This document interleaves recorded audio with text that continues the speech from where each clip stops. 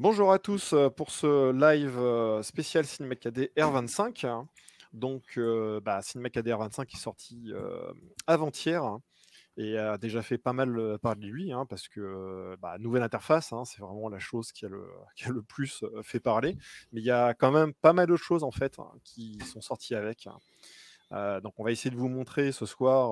on va essayer de tenir dans les deux heures, voire un petit peu moins. Euh, pour euh, montrer les principales nouveautés et puis surtout en profiter pour discuter, hein, parce que c'est l'avantage, euh, c'est pas, une, pas une, un tuto, hein, on est là, on répond à vos questions.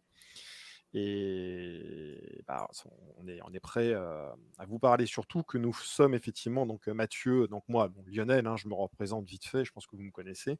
je travaille pour Maxon, c'est moi qui fais la traduction notamment pour, de Cinéma 4D en français. Donc, si tu disais la Cinéma en français, vous avez ma traduction. J'en reparlerai un petit peu. Et puis, euh, Mathieu Walensky, qui, euh, Labco, qui est également bêta-testeur. Hein. Donc, euh, nous, Cinéma 4D 25, ça fait déjà des mois qu'on le connaît. Donc, c'est intéressant parce qu'on l'a vu un petit peu évoluer. On ne pourra pas parler de tout hein, sur l'évolution quand même. Hein. on a des clauses de confidentialité, mais on peut vous partager quelques, petits, quelques petites anecdotes. Et notamment, c'est intéressant de voir les réactions de tout le monde. nous qui avons été derrière les rideaux. Donc voilà. Euh, et eh ben, on va pas perdre de temps et puis on va, on va attaquer. On a Joël déjà avec nous. Il est toujours là, Joël. Hein. Ouais, salut tout le monde. Salut Joël. Ça fait, ça fait plaisir. Toujours présent, Joël. oui, oui, oui. Sympa.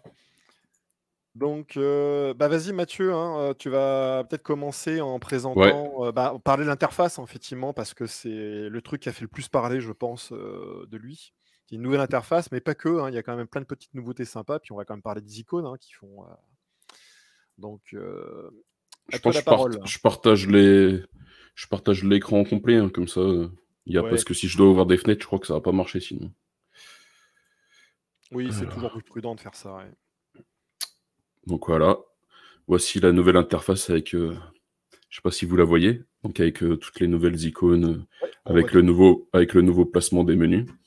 Donc justement, on va commencer directement. Donc à savoir que pour avoir la nouvelle interface positionnée comme ça, avec, euh, vous pouvez bien sûr la reconstruire, mais vous pouvez aussi la retrouver en cliquant ici là sur euh, New, Layout et, euh, et recliquer derrière.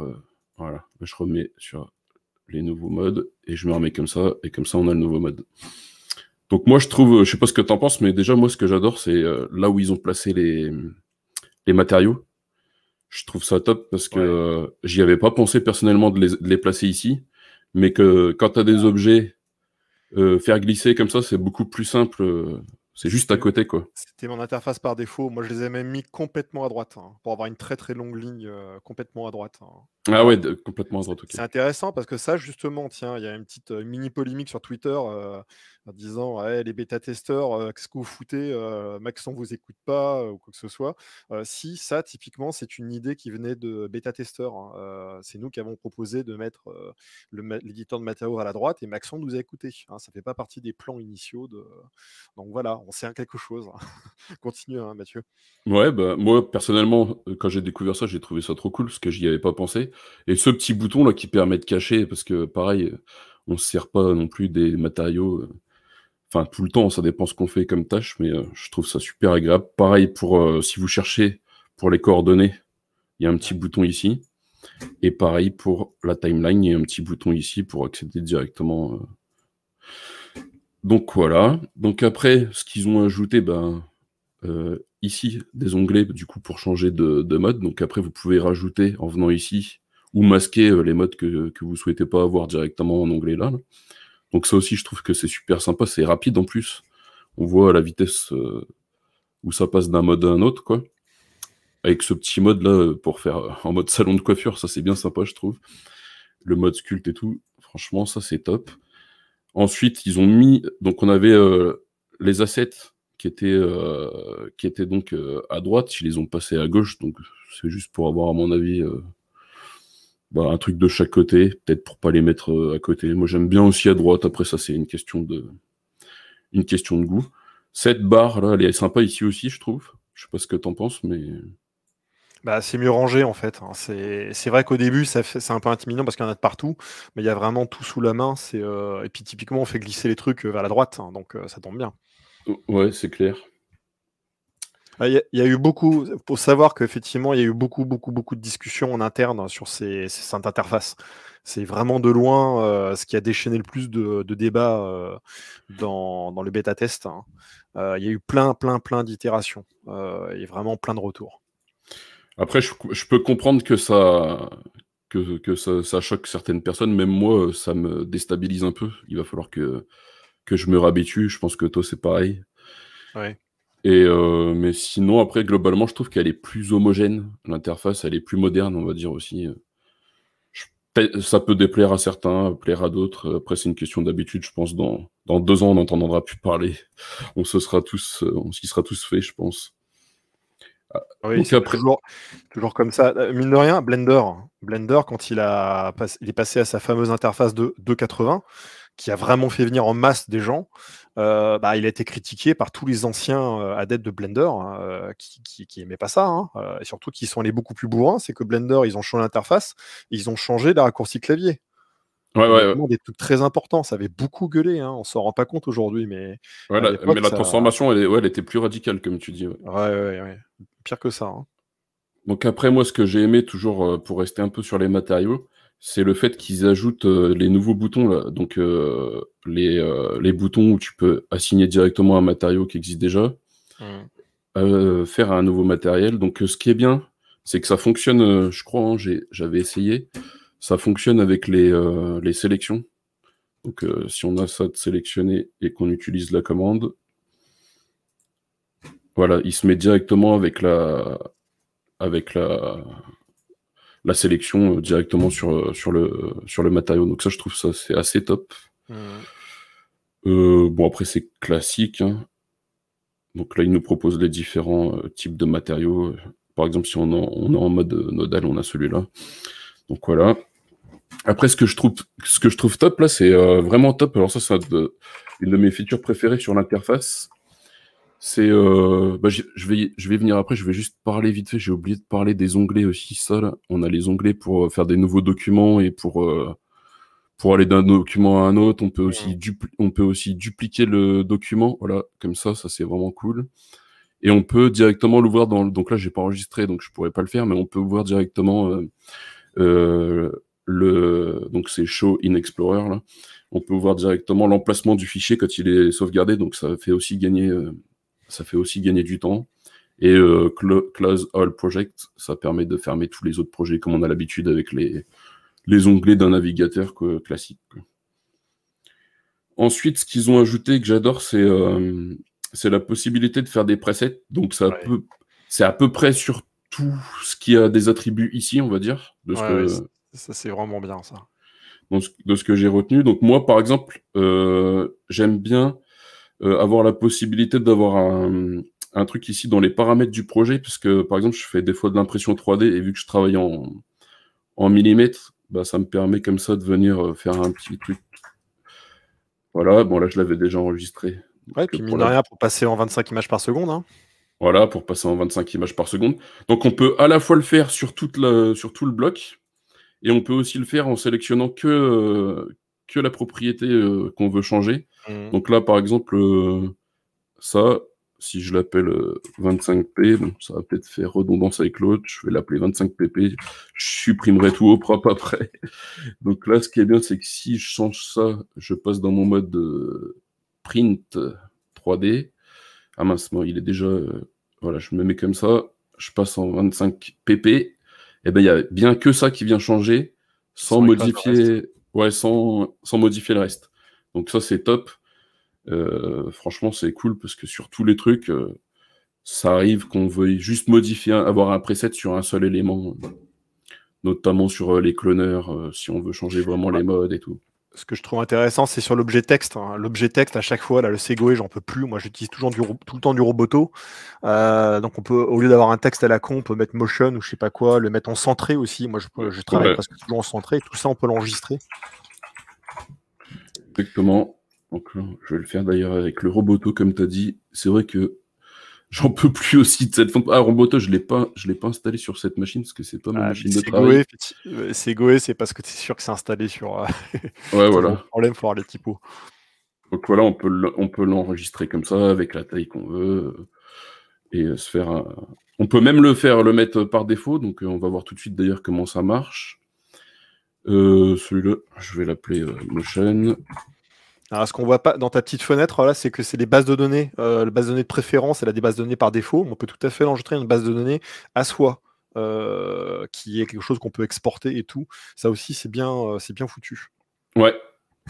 Donc là, si on veut que ça devienne l'élément par défaut, on clique ici sur la petite couronne. Et normalement, maintenant, à chaque fois que je crée un texte, voilà, il a, il a les propriétés. donc, je sais pas, j'ai peut-être pas dû sélectionner le, c'est bizarre d'ailleurs ça, non? Que ça m'a pas enregistré le, texte. Est-ce que tu l'avais sélectionné le, texte lui-même hein le, le chant J'ai pas regardé. Hein. Ouais, il m'a tout pris sauf ça alors, donc euh, je sais pas. Bon, c'est pas grave. Moi aussi, ce que j'aime bien, un autre truc que je fais souvent et qui me saoule de reproduire à chaque fois, c'est de prendre le tube, lui mettre euh, seulement 4 euh, quatre, segments comme ça, Mmh. pour faire une, sorte, une sorte de cheminée. Enfin, quand on ça arrive souvent qu'on ait besoin de cette forme. Et juste ici, derrière, on vient le retourner à 45 degrés, voilà.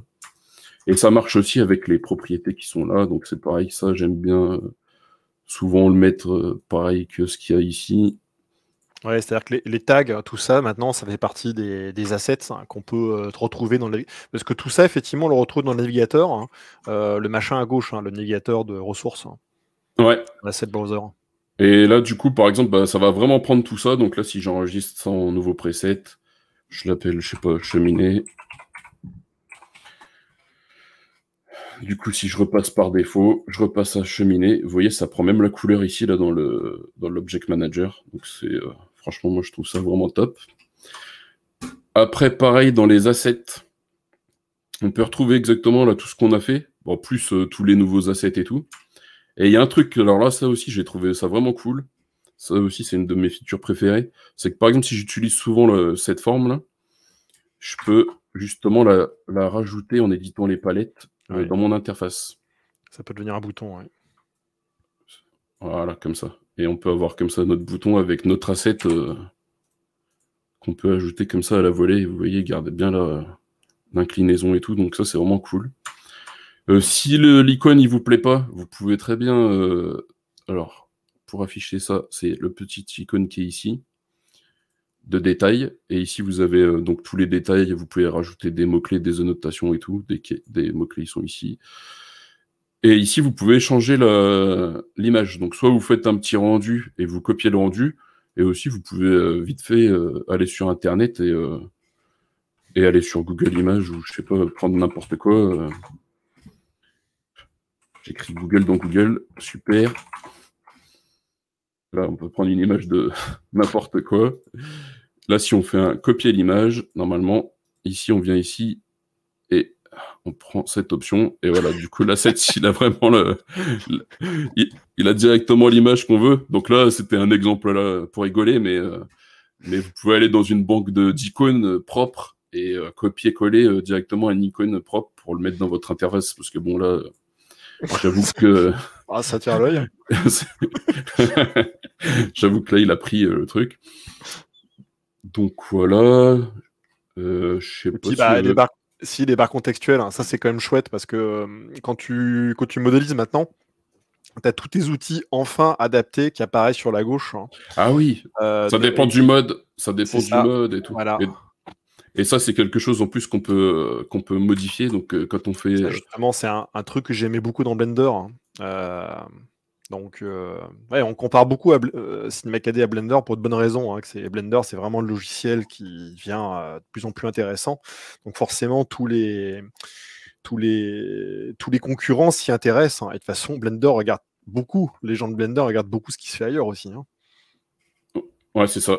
Donc là, c'est en cliquant droit sur la, barre, vous pouvez venir chercher Dynamic Content. Et euh, si vous venez chercher par exemple document mode, ici, euh, par exemple, je l'ajoute quand je suis en mode euh, face. Je viens éditer. Alors, pardon. Je viens me mettre en mode arrête, par exemple. Je peux supprimer avec un double clic cette icône et rajouter, par exemple, là, je suis en, mode comme ça, je peux faire un edge Edge to Spline par exemple. Voilà. Et maintenant, je repasse en mode point, je réédite. Et euh, je sais pas, on va, on mettre juste un. Je vais enlever celui-là, qui sert à rien d'ailleurs, ce qui marche que quand on est en mode Edge. Et on va mettre, je sais pas moi, juste un petit optimise, même si ça marche avec tout. Et voilà. Et du coup, maintenant, quand on passe d'un mode à l'autre. Ça se met à jour. Ça, mine de rien, c'est, chouette. ça n'existait pas avant. Hein. Ouais, et du coup, ça vous permet de ne pas avoir plein de sites d'éléments euh, empilés qui servent à rien. Euh. Ah, c'est ce que j'avais moi dans une, interface de modélisation. J'avais mis tous les outils.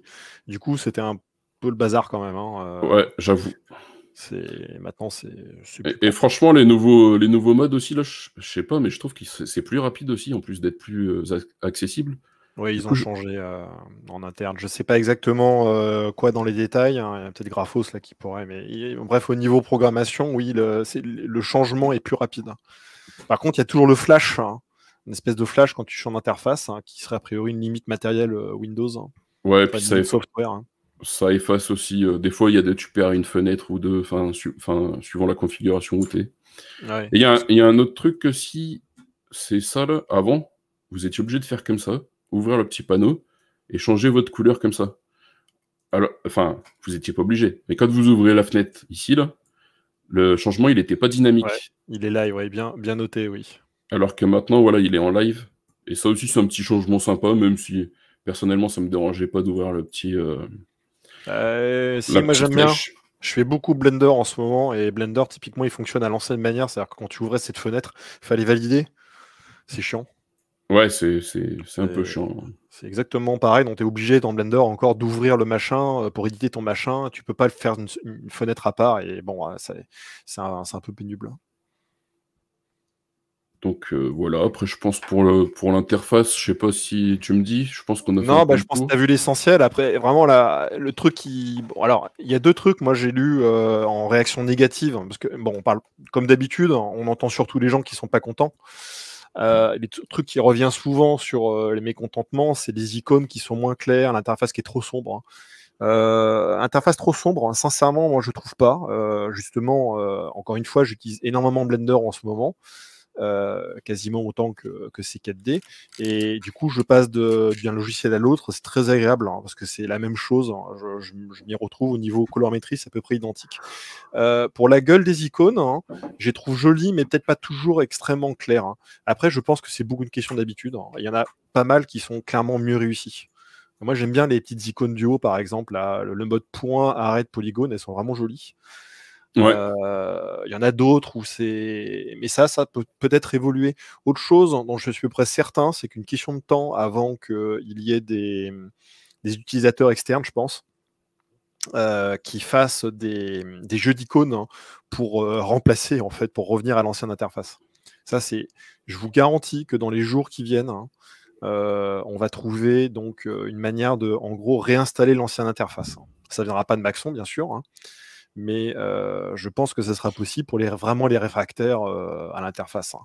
Et on, pourra garder par contre tous les avantages, hein, les, trucs dynamiques, ça c'est chouette, mais peut-être revenir aux anciens icônes, je suis sûr que c'est qu'une. Ça, ça, va arriver, ça. Je, je pense que, je pense que c'est clair que je pense qu'il y aura des gens qui vont le faire.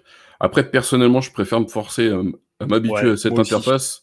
Parce qu'après, quand tu changes, ou tu vas sur l'ordinateur de quelqu'un, ou, tu mmh. réinstalles une nouvelle version, bah, autant s'habituer à celle-là, au moins c'est fait. Et, c'est ça. Et va pas rechanger d'ici euh, quelques années. Donc, euh. Alors, mon seul regret personnel, c'est qu'en tant qu'auteur de tuto, euh,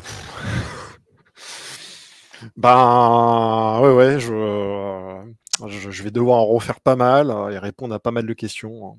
après, on peut tout à fait suivre des anciens tutos avec les nouvelles icônes. Hein. pour encore revenir à, Blender, sinon j'en parle beaucoup ce soir. je tombe très régulièrement sur des tutos qui sont faits avant la 280 et maintenant, je connais le logiciel plutôt bien, ben, je, ça me dérange absolument pas, je m'y retrouve. Hein. Et pourtant, ça n'a rien à voir. Hein. Vraiment, il a, en parlant de logiciel qui a changé de gueule. donc, on peut tout à fait suivre des anciens tutos avec un logiciel beaucoup plus récent. Ouais, c'est sûr. toute façon, c'est quasi les, les noms, c'est les mêmes. Donc, ce qui est bien, on va rappeler la petite astuce un petit Shift C et vous tapez le, nom si vous voilà le commandeur Shift C et vous tapez le nom si vous trouvez plus un outil. Par exemple, cloner. Voilà, il est là. Vous appuyez sur Entrée et vous l'avez directement. En plus, celui-là, l'icône, il n'a pas trop changé, donc vous ne devriez pas trop galérer. Voilà, donc euh, bah après c'est une question d'habitude. Hein, donc euh, euh, honnêtement, moi je me suis je me suis fait très vite. Hein, je, en gros, c'est déjà fait. Bon, c'est sûr que nous deux, on a déjà deux mois de pratique, en gros. Mais je l'ai pas tant utilisé que ça, Cinema 4D en deux mois, hein, à part pour les bêta tests et compagnie. Ouais, moi aussi, je l'ai juste essayé. Voilà, et on est déjà. Bon, c'est vrai qu'on connaît très bien le logiciel, nous, mais c'est-à-dire que c'est. On s'y fait vite, quoi. C'est ici, au fait, hein, je réponds euh, pour euh, le chat. dans le chat, bon, je pense qu'il avait trouvé, mais c'était juste pour prévenir, pour dire. Le, le reset PSR, donc il a changé, il s'appelle reset transform et il se retrouve directement dans cette fenêtre là, ici. clairement, il devrait être en haut. Ça, ça fait partie des remarques qui n'ont pas été écoutées ou qui ont été oubliées, parce que c'est la première chose qu'on avait dit. Après, c'est le genre de truc, n'hésitez pas à rajouter votre propre raccourci, c'est quand même. Euh, très rapide à faire. Hein. Ouais, notez que pour euh, sauvegarder des interfaces, maintenant, c'est très facile hein, parce qu'il euh, il suffit de cliquer sur le petit plus en haut à droite hein, et sauvegarder l'interface, c'est aussi simple que ça. C'est bien, c'est bien pensé. Et pareil, on n'est pas obligé d'afficher justement toutes les interfaces euh, en même temps. Ça, c'est autre chose que, que j'apprécie. ouais, j'avais peur, de, j'avais peur de ça au début et finalement, on peut afficher vraiment les seules interfaces qui nous intéressent. Quoi. Voilà, donc c'est, elle est quand même cool cette interface, quoi. Hein. Une fois que tout le monde se sera un peu calmé sur la couleur et le.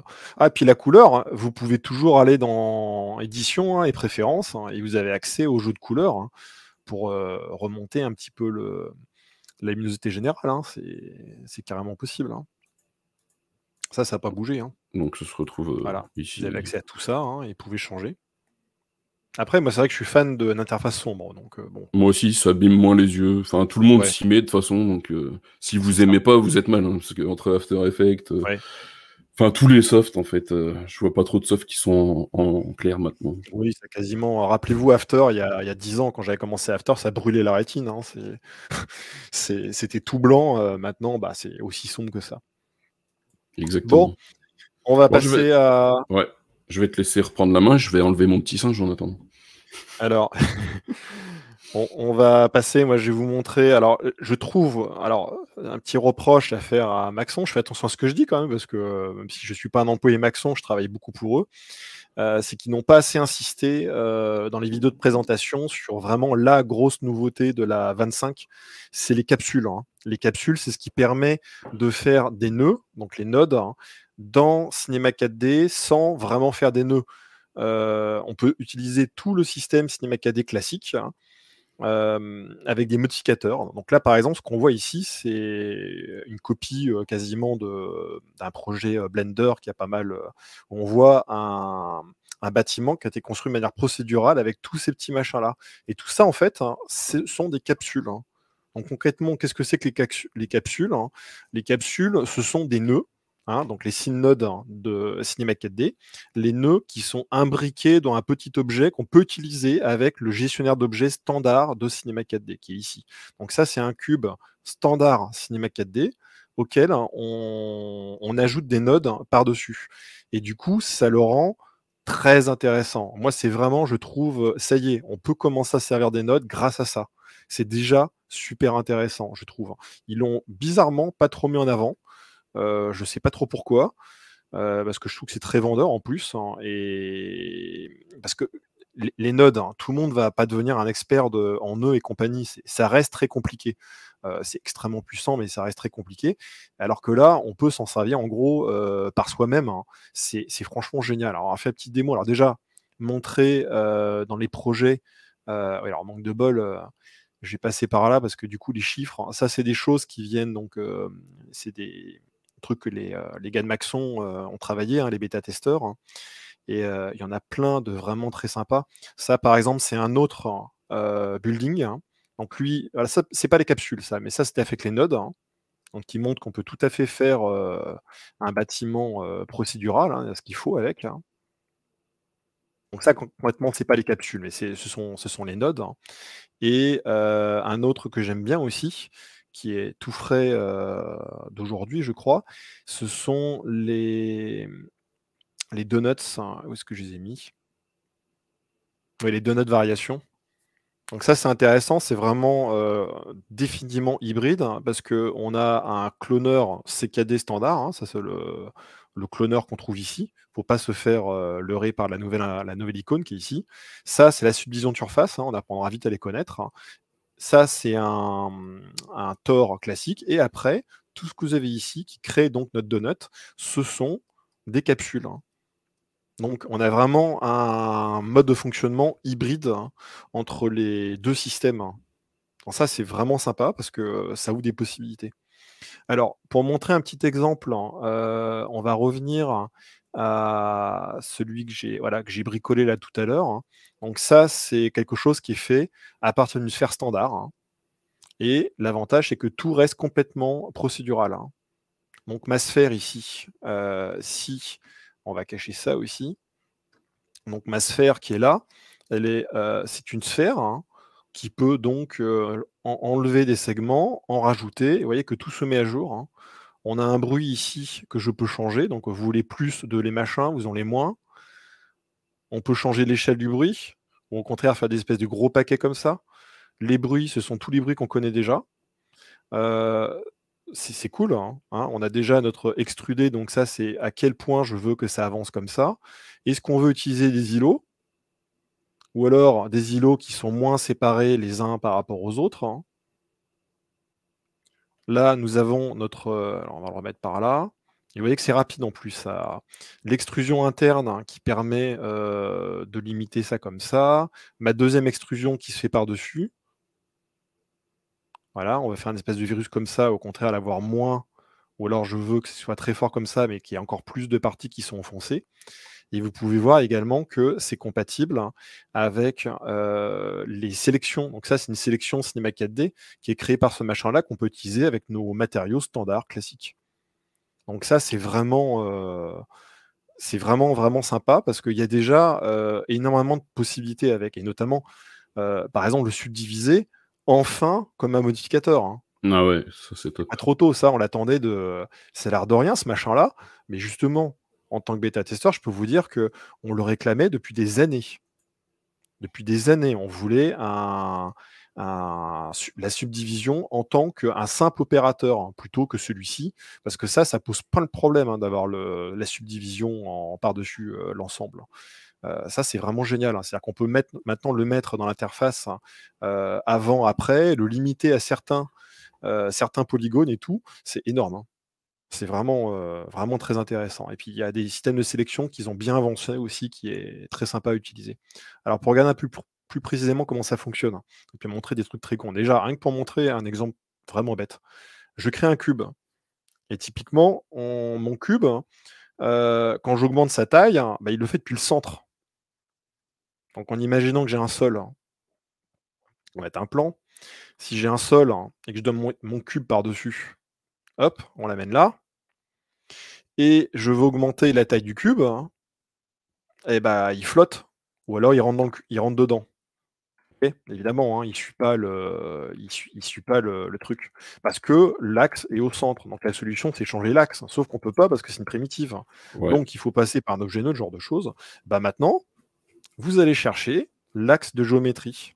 Donc c'est les modificateurs, axe de géométrie. Hop, on l'amène sur le cube. Hein.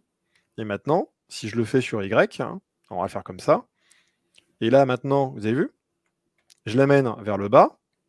Alors, le cube, hein, pas le modificateur. Du coup, on peut utiliser notre... Euh, on n'arrêtait pas d'en parler, mais réinitialiser PER, voilà.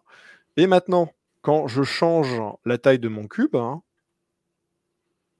il le fait depuis le centre.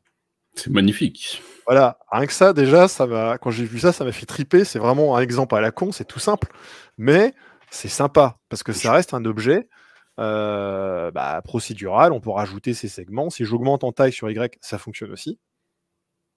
Sans parler de toutes les possibilités qu'on peut avoir avec ce machin-là. Hein. Je pense que les, archives vont être contents euh, entre ça et, euh, et les nouveaux objets, enfin les nouveaux outils pour placer les objets qu'on avait déjà dans la S24 je pense que ça change la vie de ceux qui font de l'archi. Hein. Enfin... Oui, bah, ce machin-là, franchement, c'est, je crois que c'est Donovan euh, Keys, qui est un utilisateur de CKD depuis très longtemps et bêta-testeur, hein, qui disait que c'était ça, c'était sa feature euh, favorite de Cinema 4D. Bon, c'était un peu ironique, mais c'est vrai que c'est pas mal. Hein. Alors, un autre qui est génial aussi, c'est le coquille. Alors, moi, je l'appelais coquille, ou coq. J'ai beaucoup hésité à trouver le c'est pas facile le métier de traducteur, euh, croyez-moi, pour euh, de logiciels, parce que c'est le shell en fait en anglais ou Solidify, ça dépend des logiciels. Donc moi je l'ai appelé coquille, c'est pour créer une épaisseur. Hein. Donc euh, si vous avez, si je crée par exemple bah, mon plan, on va le faire sur le plan. Il s'appelle Solidify hein, hein. en anglais, ouais, c'est ça. En anglais c'est Solidify, donc je le mets ici et bah voilà, tout simplement, il fait une, il fait une épaisseur. Ça aussi, avant, il fallait passer par l'objet tissu, qui est vraiment pas fait pour c'est cool enfin d'avoir ces machins-là. Ah ouais, ça change tout. Je vois une question de Joël qui dit c'est très cool les capsules, mais comment on peut intégrer un, stack de capsules avec des fils ou des vertex maps pour avoir un contrôle manuel? Bon, bah ça, ça va venir. Hein. Euh, même aussi puissant que soient les capsules pour le moment, euh, il faut se limiter à ce qu'on a ici. Et notamment, les capsules n'ont pas accès aux. En fait, les capsules ne font rien que ne font rien de plus que ce que peuvent faire les nœuds. Et les nœuds, effectivement, ne gèrent pas encore les vertex maps, hein, ne gèrent pas les voxels, hein, ne gèrent pas, mais ça va venir. Hein. Tout va passer en nœud. Par contre, ça prend du temps. Ça prend du temps parce que c'est un travail énorme. Savoir que ça a quand même commencé en interne il y a quasiment 4 ans, je crois. C'est public maintenant depuis presque 2 ans. Il y a encore du travail dessus. Donc ça devient de plus en plus intéressant, de plus en plus accessible. Hein. Mais donc pour répondre à la question, pour le moment, on ne peut pas faire ça. Par contre, dans mon exemple avec les donuts de tout à l'heure, on peut le combiner avec du MoGraph et compagnie, ça marche très bien. mais si vraiment pour faire les trucs les plus tordus qui soient, il faut faire du note pur pour le moment, ou plus simplement utiliser le Cinema KD classique qui ne part pas. Hein. Le Cinema KD classique, le gestion d'objets, tout ça, ça ne va jamais partir. Il hein. faut arrêter de croire que les nœuds vont tout remplacer, c'est pas vrai. Quand tu utilises la, méthode de capsule comme ça avec la hiérarchie, tu peux euh, partir de ça pour euh, retourner sur du nodal. Euh, oui, oui, tout à fait. C'est tout ça, en fait, ça peut s'ouvrir. Alors, c'est plus compliqué, c'est pas vraiment fait pour comme ça, mais tu peux construire ton propre, ta propre capsule. Hein. C'est pas quelque chose que j'ai montré. En même temps, c'est pas très compliqué. Hein. Alors déjà, les capsules. Hein. Qu'est-ce qui marche? Qu'est-ce que c'est qu'une capsule? C'est tout ce qui se trouve là-dedans, dans géométrie. Bon, là, il faut savoir que moi, j'ai mon interface française que j'ai euh, fait évoluer. Euh, celle qui est livrée avec Cinema 4D, hélas, euh, elle est... donc c'était réglé différemment. Ça s'appelait générateur de, géométrie, modificateur de géométrie. J'ai changé ça pour que ce soit plus clair. En anglais également, c'est pareil. Hein. Donc en fait, ces quatre machins-là, tout ça, à peu de choses près, ce sont des capsules. Hein. Donc ça fait un paquet de trucs quand même. Hein. Ouais, c'est sûr. Et vous les faites glisser à droite. et ah ouais, un, truc qui est bien aussi, c'est de pouvoir mettre une géométrie en mode primitive euh, comment on appelle ça, procédural et pouvoir passer de d'une sphère à, un cube. Donc là, par exemple, je vais essayer de pas limiter les. Si je vais dans géométrie primitive, hein, euh, on a toutes nos géométries euh, classiques qu'on peut faire venir là-dedans. Alors les splines, qui sont une nouveauté, sont pas gérées dans capsule. Hein, je sais pas pourquoi. Par contre, toutes les autres géométries comme capsule, etc., ça, ça marche. Et ça, c'est une géométrie. ça, ça, c'est une géométrie node. Hein. C'est Inception. Fait, Capsule. Une capsule de capsule. Bah voilà, c'est surtout qu'on a ce truc bizarre, c'est qu'on a une capsule qui vient du gestionnaire d'objets et une capsule donc qui vient, euh, voyez, générateur de scène, hein, et ça c'est la capsule standard. Mais après les deux vont fonctionner à l'identique, ce qui fait pas une grosse différence. Par contre, sauf, sauf que les, capsules c'est plus rapide, je crois, du coup, non? Ouais, c'est plus rapide hein, et ça permettrait d'avoir de meilleurs résultats généralement. Et surtout, ce qui est intéressant, c'est qu'on peut aller chercher la, Groupe. Non, ça justement, c'est le. C'est le. Ouais, non, c'est ça. Ça, c'est l'objet. En fait, la capsule que vous voulez faire par vous-même, c'est celle-ci. Alors, regardez les tutos spécialisés sur le sujet parce que c'est un peu plus pointu là-dedans. Primitive maillage, la voilà. Primitive géométrie, il faut que je la. Faut que je la renomme, c'est partie des trucs qu'il faut, non, faut que je m'occupe. Ça, c'est vraiment bien parce que dans objet, vous avez tous vos objets. Voilà. C'est pas mal aussi quand même. Hein. Du coup, si vous faites un asset, bah, vous pouvez euh, vous dire ah, en fait, je voudrais passer euh, d'une pyramide à un cône, ben, en deux secondes. Voilà, ça se fait. Donc du coup, là-dessus, on peut peut-être montrer la, petite démo. On montrer, je vais refaire très vite, hein, puis on va s'arrêter euh, là-dessus. Coucou Fremox. Ah, il est là. Il peut pas rester. Oh, bah, dommage. Hein. Euh, tu nous verras en replay, comme tu dis. Donc ouais, maintenant j'ai ma primitive maillage. Alors on va déjà commencer par le plus simple. Alors ici, donc, j'ai mon gestionnaire d'objets. Je ferme et je suis dans les nœuds hein, pour avoir tout à. Et encore une fois, tout est là-dedans. Ces quatre machins-là, ça sert à rien avec les capsules hein, de chercher les autres. Ok? De toute façon, les capsules peuvent faire des choses généralement plutôt simples. Donc, chercher dans la sélection et je vais chercher, par exemple, ma sélection basée sur un bruit. Je la fais glisser ici. Ok? Donc là, un petit conseil hein, pour pouvoir plus facilement en fait s'en sortir hein, avec ça. Quand vous créez une sélection comme ça, vous allez utiliser ensuite stocker la sélection. Donc stocker la sélection, on le met juste après. Donc ça, il nous crée une sélection qu'on ne voit pas, c'est le problème. Hein. Et stocker la sélection va nous permettre de nommer la sélection. En gros, c'est comme si on allait ici et on enregistrait la sélection. D'accord? Donc ici, on va l'appeler 1, par exemple. Hop. Et vous avez vu ce machin-là apparaître. Donc ça, ça nous permet maintenant d'aller chercher un matériau. Donc on va chercher un matériau Redshift, tant qu'on y est. Donc je vais faire un blanc et je vais faire un rouge. On met le blanc par-dessus, on met le rouge par-dessus, et le rouge, on le limite ici avec ce machin-là. Voilà, et comme ça, c'est une manière hein, facile hein, de voir sa sélection. Hein, c'est tout con. Euh, ça permet de voir comment ça fonctionne. Maintenant, sélection basée sur le bruit, bah, c'est basé là-dessus. donc, vous voyez, le seuil, en gros, c'est l'intensité, l'échelle. pas vraiment besoin d'expliquer, c'est simple. Primitive maillage, je peux augmenter les segments. Je peux la changer en, je sais pas, une citerne, hein. euh, augmenter les segments. Vous voyez que tout fonctionne. Hein. C'est ah, rien que ça, moi je trouve ça déjà, déjà sympa. Alors on va revenir à la sphère en icosaèdre. Hein. On va augmenter un petit peu les segments comme ça. Et c'est aussi surtout euh, rapide, quoi, parce que avant on pouvait faire des sélections avec des fils et tout, mais je trouve que c'était pas aussi réactif. Alors, moi, ce que j'attends qu'impatience, et ça va arriver, c'est le moment où on va pouvoir faire des sélections en passant par ici, les sélections manuelles, en gros. Parce que tout le monde n'est pas. Euh, voilà, c'est ça, ça va, ça va arriver, quoi. Donc, maintenant, ensuite, euh, ouais, Mathieu Frémox qui dit que c'est proche de Houdini. Effectivement, ils ont beaucoup observé Houdini aussi.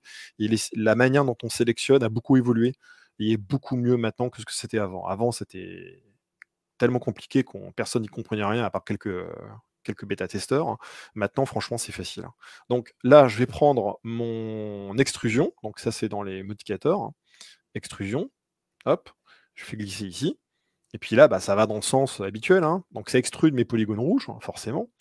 On va faire une variation de décalage, comme ça. Je pense que ça ira. Euh, ici, on peut utiliser les îlots. Euh, faire varier la valeur d'îlot, euh, ça dépend comment on veut. Donc je vais le laisser comme ça. Et après, on peut continuer. Extrusion interne. Hein. Alors, c'est marrant parce qu'en anglais, avant, ça s'appelait inner extrude. Et puis ils l'ont enfin appelé inset, comme dans les autres logiciels. Donc moi, je suis embêté parce qu'en français, inset, insert, c'est bizarre. Donc j'ai gardé extrusion interne. Je ne sais pas ce que vous en pensez. Euh, normalement, c'est 7, mais extrusion interne en français, je trouve que c'est plus, plus clair. On sait, on sait ce qui se passe. Donc, ça nous fait des extrusions internes. Voilà. Hop, et après, on peut continuer sur ce principe. Si je remets un extrudé par-dessus, il m'extrude à partir de ces nouveaux polygones jaunes. Hein. Ok? Donc là, par exemple, j'ai fait une variation de décalage, j'ai dépassé les 100%, si bien que j'ai des polygones qui sortent et d'autres qui rentrent. À tout moment, je peux rajouter subdivision. Euh, à chacun des étapes. Hein. Et après, je peux continuer comme ça. Et là, par exemple, je voudrais qu'il me relâche les points. Donc, euh, c'est toujours dans les modificateurs. Hein, et c'est dans lisser la géométrie. Lisser la géométrie, je le mets par-dessus. Lisser la géométrie ne lisse que mes points finaux. OK? Parce qu'effectivement, là, sélection de chaîne par défaut, ça veut dire que c'est la dernière sélection active. Donc, c'est mon fameux numéro 1. D'accord Si je veux changer ici, je peux faire tout simplement all. Hein. Et all, il va s'appliquer sur tout. c'est vrai que relâcher, c'était sur la lycée la géométrie, c'est un peu crétin. On le voit ici, vous avez vu ça sur le côté.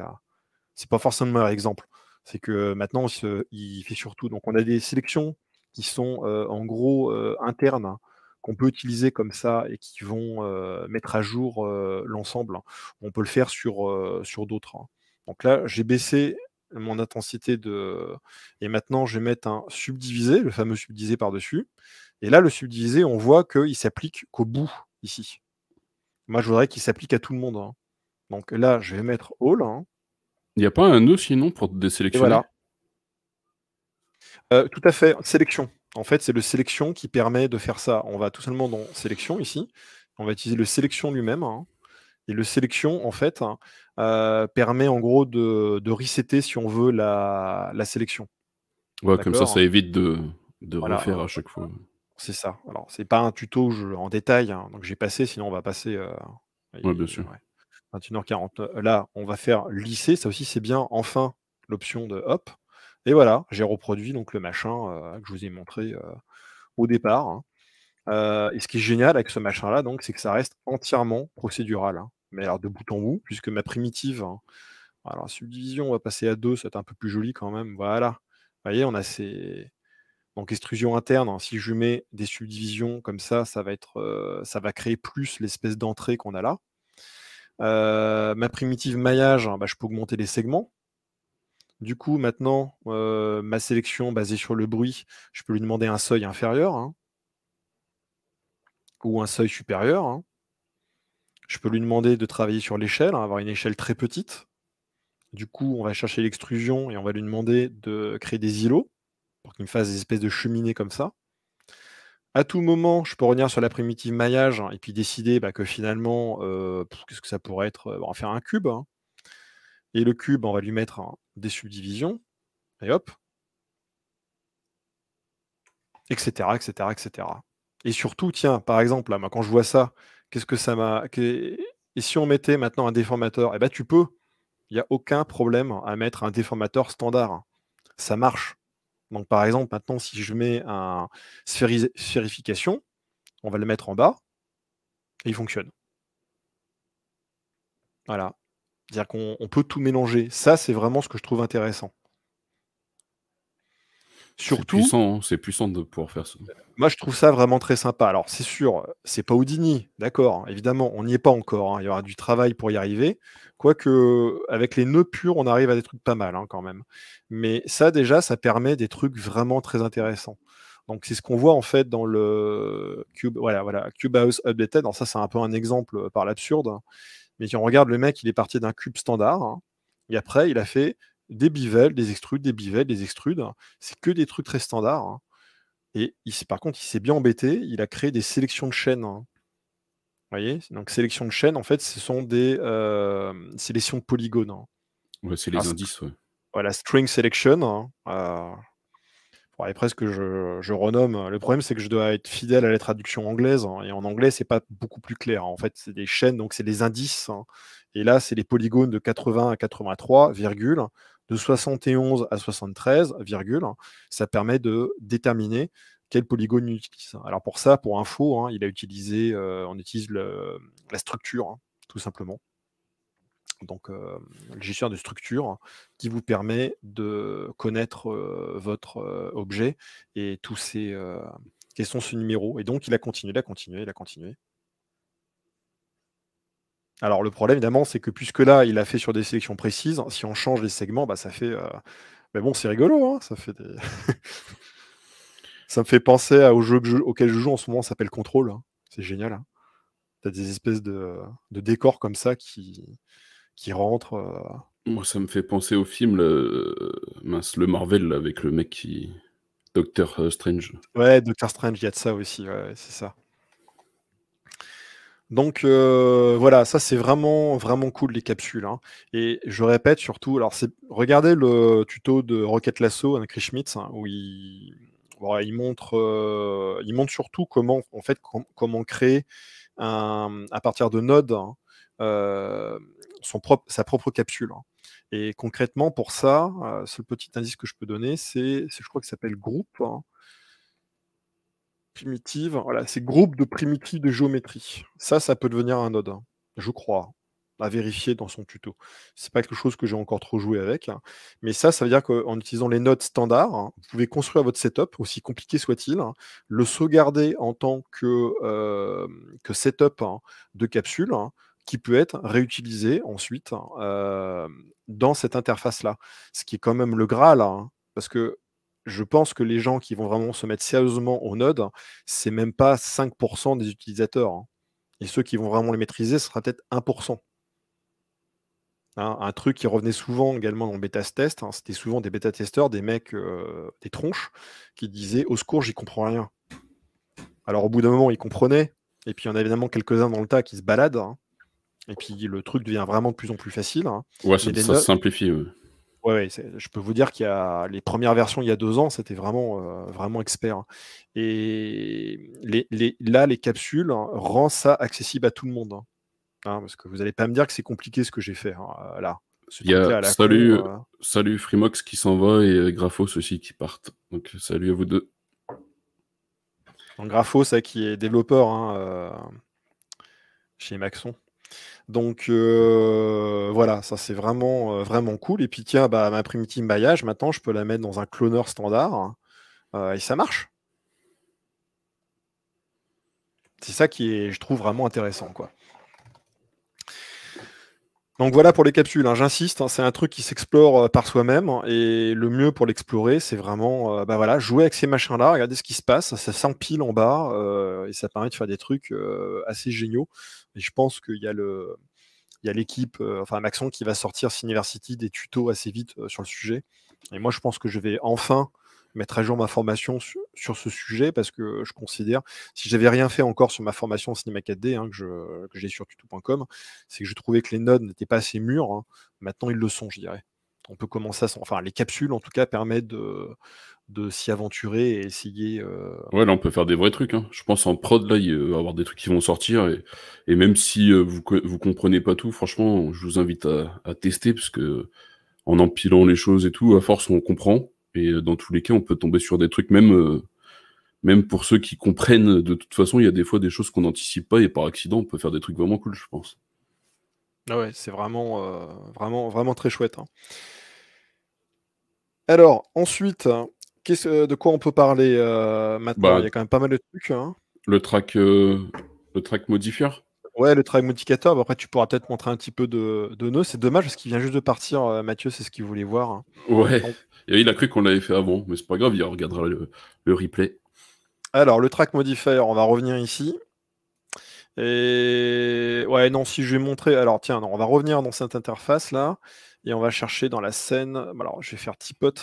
Alors, faut pas oublier de revenir sur tous. Si vous faites une recherche là, quand je suis dans les nœuds, je trouve que des nœuds. Hein. Euh, je trouverai pas. Moi, je cherche une scène. Hein. D'ailleurs, je peux peut-être aller ici. Et j'ai chargé une scène de la, voilà, tipot.c4d. Voir l'icône plus gros, hein, donc euh, c'est le machin habituel. Je télécharge, hein. Hop, et on a notre euh, tipot qui est en train de faire sa balade. Hein. Ça, c'est un bon exemple pour euh, voir comment il marche le track modifier. Donc le track modifier, on a notre tipot qui est là, et l'animation, évidemment, c'est tout là-dedans. Alors à noter, ça aussi, c'est plus ou moins nouveau, mais là, quand on clique là-dessus, on voit apparaître notre. Euh, ça, si, c'est bien. Ça a l'air de rien, mais. Moi, je passais à chaque fois dans l'interface d'animation euh, pour pouvoir accéder à ça. Et bah, maintenant, on l'a directement sous les yeux, on le referme. Hein. C'est comme ça. franchement, franchement, c'est cool. Donc, on voit que toutes nos, alors justement que toutes nos tracks animées euh, sont à l'intérieur de cet objet. Ok? Alors, on va faire venir justement clic droit, propriété d'animation, donc modificateur de piste, hein. un track modifier en anglais. Euh, je ne suis pas toujours très content des, noms qu'ils choisissent, hein, même en anglais, hein, parce que track modifier, moi j'aurais appelé ça animation euh, modifier, ça aurait été quand même plus clair. c'est parce que ça modifie les pistes. Bon, on va voir. Donc, modificateur de piste, c'est un tag. Et après, on voit les options ici. Et euh, il va nous faire des machins. Alors, tout de suite, je lui ai de travailler sur la hiérarchie. Effectivement, je veux qu'il intervienne sur tous les objets à l'intérieur de la hiérarchie. Sinon, il va s'appliquer qu'à l'objet supérieur, pas très intéressant, euh, dans le cas d'un personnage. Hein. Donc, on va mettre hiérarchie. Et également, par défaut, il nous met l'intensité à 0%, ce qui est un, choix curieux, euh, parce qu'il va rien se passer. Donc j'ai lancé l'animation déjà. On va également mettre cette option que j'adore, géométrie seule en lecture. Hein. Donc ça, ça permet que quand je m'arrête, hop, on revoit l'interface. Ça, c'était dans la 24, hein, ou la 23, je ne sais plus. Donc, il est en train de se balader, et si on commence à utiliser le rebond, vous voyez qu'il se passe un truc. Il commence bah, à rebondir, à faire des trucs bizarres. Et si je vais très fort, hein. Et donc, il est en train de nous rajouter des effets de, bah, rebond sur l'ensemble. Hein. Alors, ce qui peut être intéressant, si on lui rajoute de la rigidité par-dessus. Et là, vous voyez, sur ce, notamment sur les pieds, le bout des pieds qui rebondit, il y a une espèce de bling-bling. Hein. Alors, j'espère que c'est assez fluide pour qu'on le voit. Je vais passer en plein ouais, ouais, franchement, enfin, moi, je le vois en tout cas. Hein, voilà, et ça c'est fait par le track modifier. Donc c'est tout simple, hein, il suffit d'augmenter la rigidité, traîner. Ça, ces trois valeurs-là sont les mêmes hein, que vous avez dans le jiggle, euh, le modificateur secousse qu'on trouve. Euh, ah, le secousse, il a, il a une chouette nouvelle icône. Voilà, secousse. Voilà. Donc c'est exactement la même chose qu'avant, sauf que maintenant ça joue sur des, des propriétés comme ça. Donc c'est très cool à, modifier pour justement ralentir le personnage, avoir l'effet de, rebond qui est limité, etc. Donc on a ça. On a ensuite la postérisation qui est toute simple. Hein. Postérisation, ça va se voir quand je vais lancer les étapes d'image. Hein. On va avancer encore. Euh, alors, ça ne fonctionne pas. Pourtant, je suis bien en postérisation.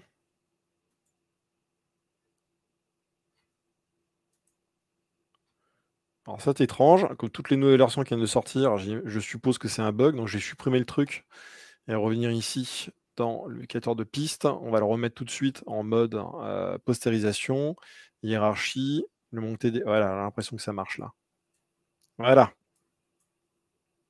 Et donc maintenant, en fait, je l'ai postérisé à 5 images. Donc, euh, ouais, comme toujours, hein, il y a des petits bugs hein, sur, euh, sur les versions qui viennent de sortir. Hein. Pourtant, croyez-moi qu'on ça aussi, des bêta-testeurs, on en ramène beaucoup des, des, rapports de bugs. Il y en a un nombre incalculable. Euh, mais il y a des trucs qui nous échappent. Et pourtant, je l'ai pas mal tripoté ce modificateur, donc je suis surpris qu'il m'ait échappé celui-ci.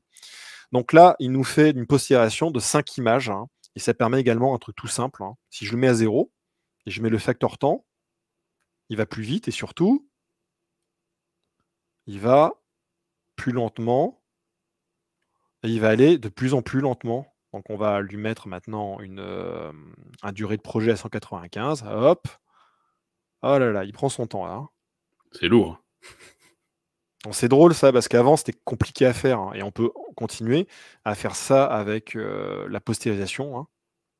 Et on peut également décaler l'animation dans le temps. Ce qui est sympa, euh, si vous avez par exemple plusieurs euh, typotes, hein, je pourrais comme ça les décaler dans le temps, chacune l'une par rapport à l'autre, sans avoir besoin de toucher à vos images clés qui sont ici. Parce qu'on est bien d'accord qu'on ne touche jamais à ces images clés. Hein. C'est un truc qui se fait par-dessus. Mmh, c'est pour ça que ça s'appelle. Enfin, que ça a le nom que ça porte. Le modificateur piste, ouais. il y a une raison pourquoi ils l'ont pas appelé modificateur animation, parce que techniquement ça modifie les pistes hein, et pas les pas l'animation elle-même. Hein. Euh, mais j'aurais préféré qu'il l'appelle modificateur animation. Donc euh, voilà, ça c'est postérisation. Et après, alors le bruit, il est très rigolo. Le bruit, ça va vous rajouter du bruit. En gros, si vous voulez qu'il soit un petit peu euh, sénile, hein, on va lui mettre. Alors il est très, il est très chatouilleux par contre. On va également réduire sa durée. Euh, c'était 60, 70 images au début, je ne sais plus. Voilà, donc si on met une intensité même assez faible, hein, voilà, il commence à être. Euh, il est bourré. Il est bourré. Ah, voilà. Et ça, ça peut être vraiment très cool à utiliser avec euh, des éléments. Surtout que vous pouvez toujours utiliser les, les accélérations, les ralentissements et surtout, l'intensité ici peut être fait sur plusieurs réglages. Hein. Par exemple, la rotation, j'ai pas envie que ça soit aussi balèze en rotation. Donc là, il va en avoir pas mal hein, sur la. Et on voit bien, ouais, il est bourré là. Il y a Parce qu'on a moins en rotation. Et vu qu'on peut également travailler sur les attributs des données utilisateurs. C'est quand même. C'est bien, bien pensé. Et enfin, le dernier, qui rime à rien sur notre théière, hein, parce que le lissage, bah, on va pas avoir de grosses différences, mais qui est très sympa si on le détourne un peu. Alors ça, je vais essayer en direct un truc. parce qu'on peut accumuler comme ça, les cumuler les, ces modificateurs pistes les uns après les autres. Je vais passer en mode postérisation en espérant que je vais pas devoir recommencer le truc. Est-ce que ça marche hein? Ouais, c'était vraiment bizarre le premier. Donc là, on voit qu'il est, il est ralenti. Ça fait comme un stop motion. Voilà, ça fait stop motion. Hein. Et qu'est-ce qui se passe si je rajoute après ça un modificateur de piste, hein, donc un deuxième, je vais mettre à droite pour hein, pour pas confondre. Et le deuxième, maintenant, je vais le mettre en mode lissage. Donc mode lissage va nous lisser notre résultat. Donc il va interpoler le truc et nous lisser le résultat. Et je, je mets bien hiérarchie. Alors je pense, pour que ça soit visible, il va falloir augmenter le nombre d'étapes par image.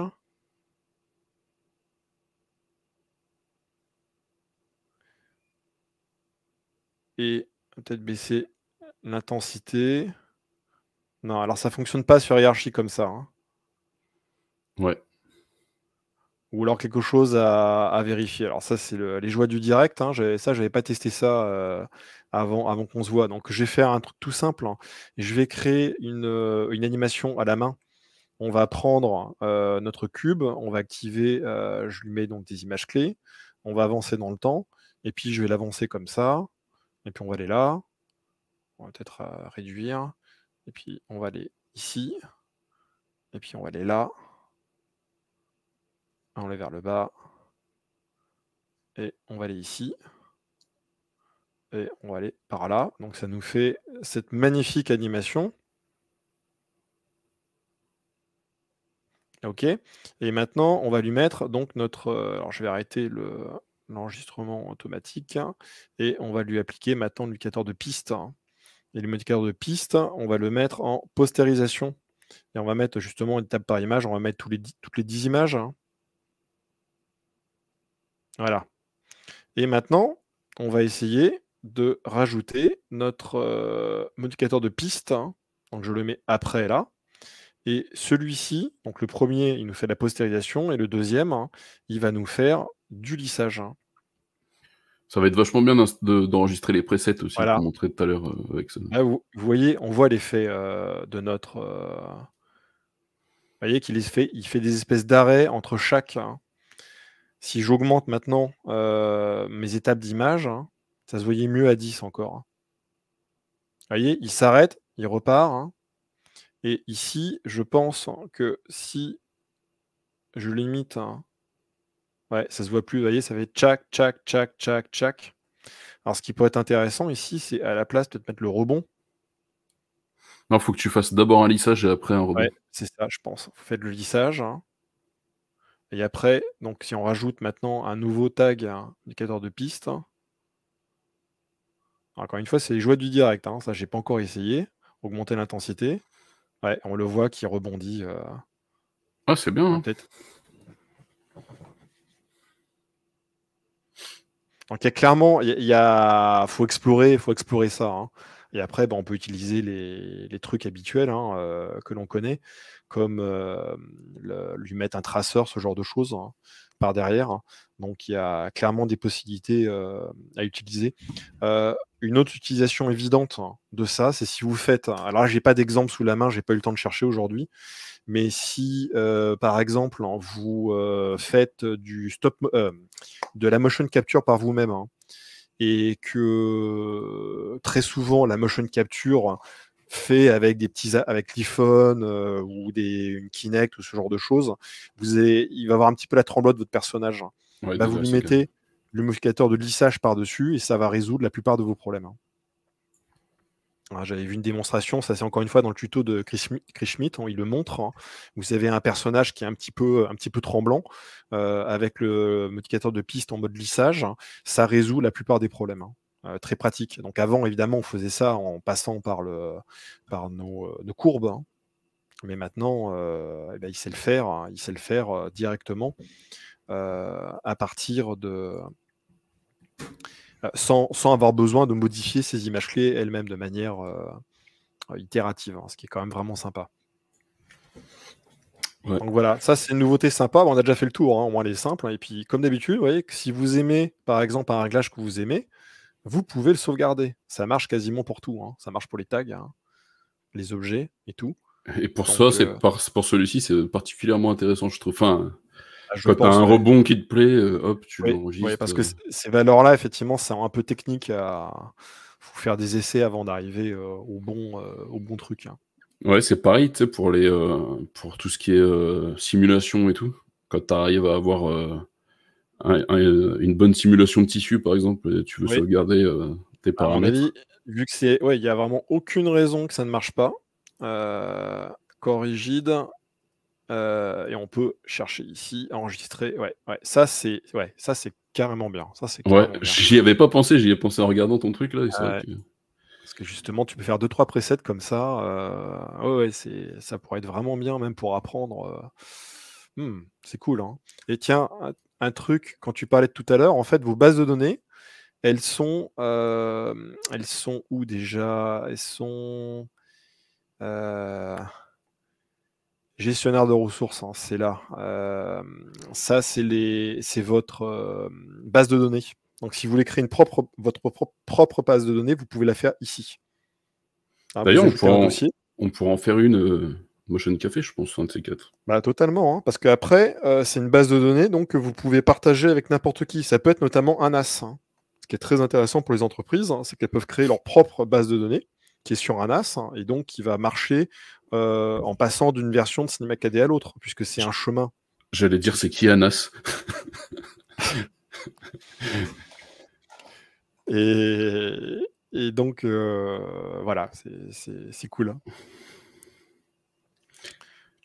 Tu, tu, veux que, tu, veux que je, tu veux que je montre un petit exemple assez simple sur les. Euh, sur les nodes. Sur les nodes, et puis après tu prendras la, suite sur les nodes, encore une fois, parce que je pense qu'on terminera là-dessus.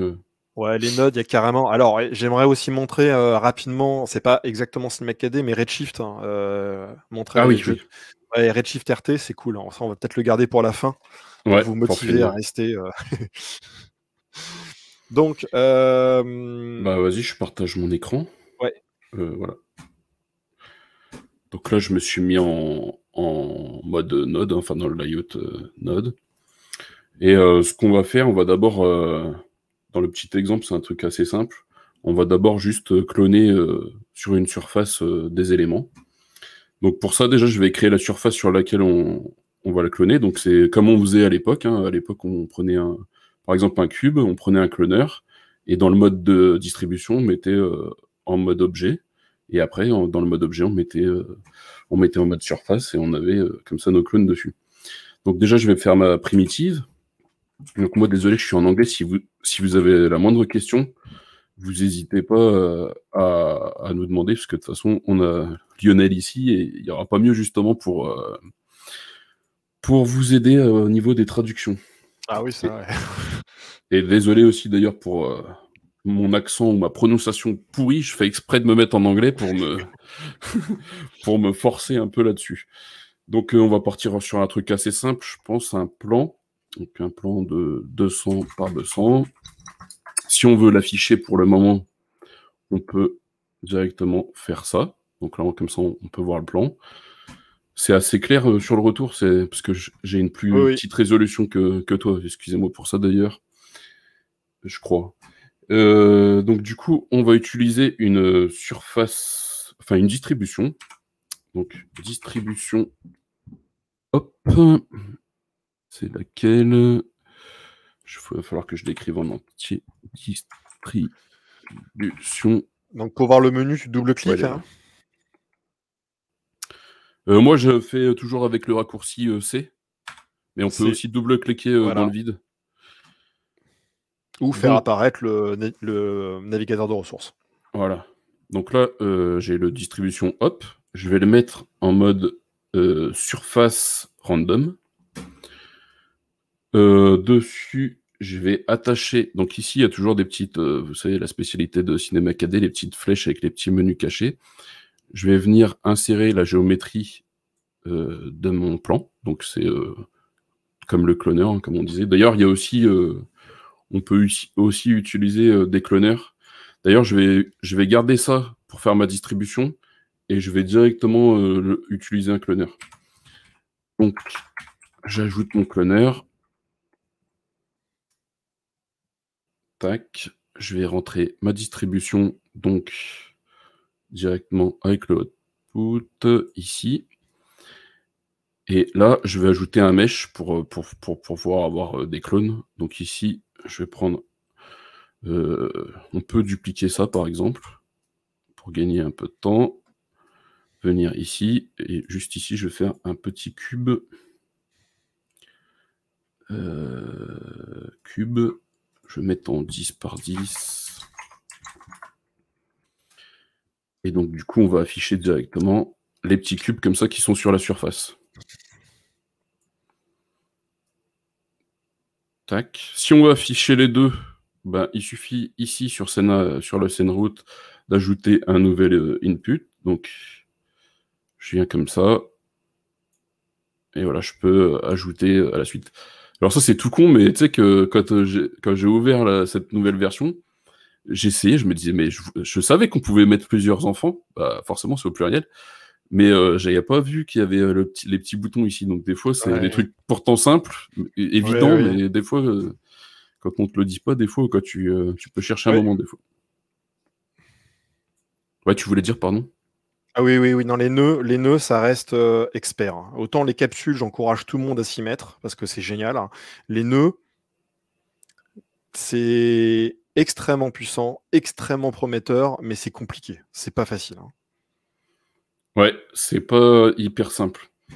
Mais c'est pas si dur que ça. C'est une fois qu'on pas si dur. Voilà, il faut, il faut un petit peu, voilà, il faut un petit peu. Euh, s'y mettre, et puis à force de le faire, je sais pas vous, mais moi par exemple Expresso au début ça me paraissait euh, un truc euh, de fou quoi, alors que maintenant je trouve ça assez simple et naturel de, travailler avec Expresso.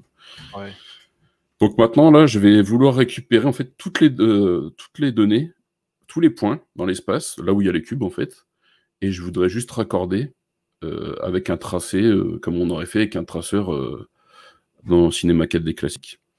Donc déjà, je vais réduire un petit peu, parce que pour l'exemple, ça sert à rien d'en avoir autant. Je vais mettre juste 10 euh, cubes. Je pense... Euh, 10, pour que j'en ai que 4. Euh, je suis bien en surface random. C'est encore les joies du direct ou... Alors là, je sais pas du tout pourquoi j'en ai que 4. J'avoue que j'ai du mal à voir ton, interface, moi, parce que je, je, je peux pas agrandir, je crois, les, la fenêtre. Euh. Si, si, tu peux la mettre en plein écran sur StreamYard. Ah oui, ah oui, oh là, c'est beaucoup mieux. Ok. Euh, est-ce que ton plan a suffisamment de subdivision? Ouais, normalement, vu que c'est sur la surface, normalement, c'est bon. Oui, il en a pas besoin, mais j'ai déjà remarqué que ça, c'est une influence parfois. Euh, si je mets un cube, parce que peut-être qu'ils sont empilés. Parce que là, du coup, j'en ai combien maintenant? J'en ai 23. Non, pourtant, j'ai l'impression que je vais d'ailleurs masquer ça. Ouais, j'en ai toujours moins que, que ma, que ma distribution. Euh, éventuellement, tu peux peut-être essayer le, bah, Surface euh, Blue Noise hein, euh, qui va t'en mettre plus. Par contre, le Surface Blue Noise, mais je voulais le montrer après, mais ça pourrait être là. Il faut que, tu, ton cube fasse 1 cm hein, pour qu'il fonctionne correctement tu mets à 1, 1, 1. Voilà, et maintenant avec le surface Blue Noise, hein, tu vois, tu as un maximum size. Hein. Si tu mets par exemple, je sais pas moi, 5 cm de maximum et 1 cm de minimum, hein, et après le sample count que tu augmentes. Ah oui, oui, parce que sinon on les voit pas. C'est ça. Ouais, mais ouais, c'est bien. Ça, c'est bien du coup qu'on le montre et tout. Mais je préfère utiliser. Enfin, là, le fait, ça me perturbe un peu le fait que ça. C'est pas grave si on a moins. D'ailleurs, ça a peut-être débugger un peu le truc. Je sais pas pourquoi. Je vais remonter ça. Voilà, je vais remettre un plan. De toute façon, c'est pas grave, je pense que ça marchera quand même. Tu, veux faire le traceur, hein, de toute façon. Euh, donc, euh. Ouais. Donc, je me mets euh, en mode plan. Si je le retrouve. Plane. Plane, voilà. Donc voilà, donc c'est pas grave s'il y en a plus. Donc l'avantage du nodal aussi, c'est que à plusieurs endroits, si on a besoin d'une même valeur, bah, il suffit de, la connecter. Donc là, justement, je vais créer un petit nœud valeur, donc value, qui va me permettre d'indiquer le nombre de, de, clones que je veux. Donc je le mets. Donc float, c'est en mode, c'est-à-dire qu'il peut y avoir un chiffre à, virgule et entier, un nombre entier, parce que là je veux juste un, un nombre sans virgule, vu que ça concerne la quantité de le count, ça peut pas être divisible. Donc ici, pareil, on va faire clic droit s'il veut bien. Ah voilà. Je vais ajouter le count qui est dans les paramètres ici. Et je vais l'attacher ici. Donc là, forcément, il est à 0. Bon, j'ai beau l'ajouter petit à petit. Euh, ça doit être un petit bug, je pense. Il faudra que je regarde après en off. Mais normalement, ça ne devrait pas poser de problème puisque je vais récupérer les points de la position. Donc un truc, euh, un aspect qui est parfois un peu, euh, un peu dur quand on commence avec le nodal, c'est que contrairement euh, avec Expresso, on n'a pas ici la position, la rotation. En fait, tout ça, c'est contenu dans la matrice, dans le matrix. Donc du coup, on va le décomposer pour pouvoir, pour pouvoir avoir accès à la fois à la position, à la fois à l'échelle, enfin tout ça, mais de manière dissociée, pardon. Donc on utilise tout simplement décompose matrice, matrix. Je viens comme ça mettre ma matrix dedans. Et ici, là maintenant, on a toutes les positions. Donc on a la position de chaque, de chaque point. Donc euh, ce que je vais faire, c'est que je vais rentrer toutes ces valeurs dans un tableau. Donc un tableau, euh, c'est euh, tout simplement, c'est un... Je vais vous montrer tout de suite. Build. Donc là, si je le mets en mode, euh, par exemple, int, ici, vous voyez, c'est un, un ensemble de valeurs. Donc là, j'ai quatre valeurs, je peux en ajouter, je peux en supprimer.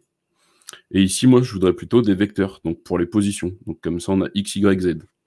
Tout ça, c'est du jargon integer. Int, c'est integer. Euh, float, hein, c'est une valeur flottante. Euh, vecteur, etc. C'est un les nombres, les nombres entiers pour integer, c'est ouais. C'est ça. Donc, euh, donc là, je veux un tableau vide, donc je mets rien, et juste avec des vecteurs comme ça. Donc maintenant, là, c'est les trucs un petit peu, un petit peu complexes, c'est que je vais devoir remplir ce tableau avec euh, toutes, les, euh, toutes, les, toutes mes positions, en fait. Donc j'ai plusieurs solutions.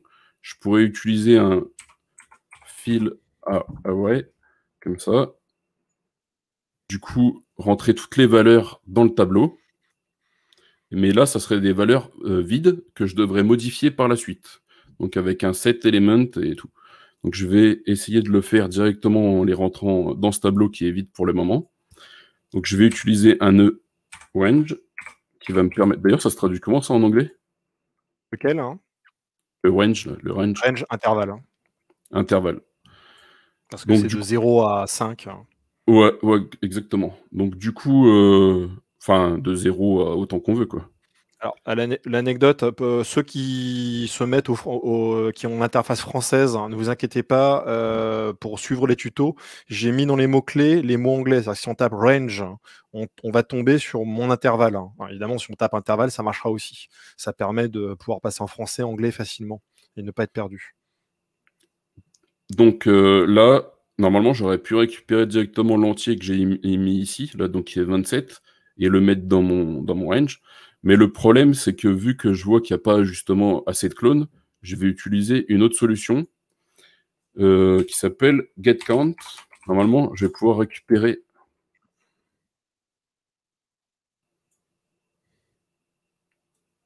ici. Ah non, ça ne va pas le faire. Il faut que je me mette en vecteur peut-être? Oui, voilà. GetCount. Là, il va prendre la quantité de toutes les, informations qu'il y a dans les translations et il va le, mettre dans mon range. Donc, vu que c'est rouge, j'ai peur qu'il y ait un petit souci. En général, quand ça fait ça, c'est qu'il y a une erreur. Je ne sais pas si j'ai ma console d'afficher. Non, bah pourtant, on ne dit pas qu'il y ait d'erreur.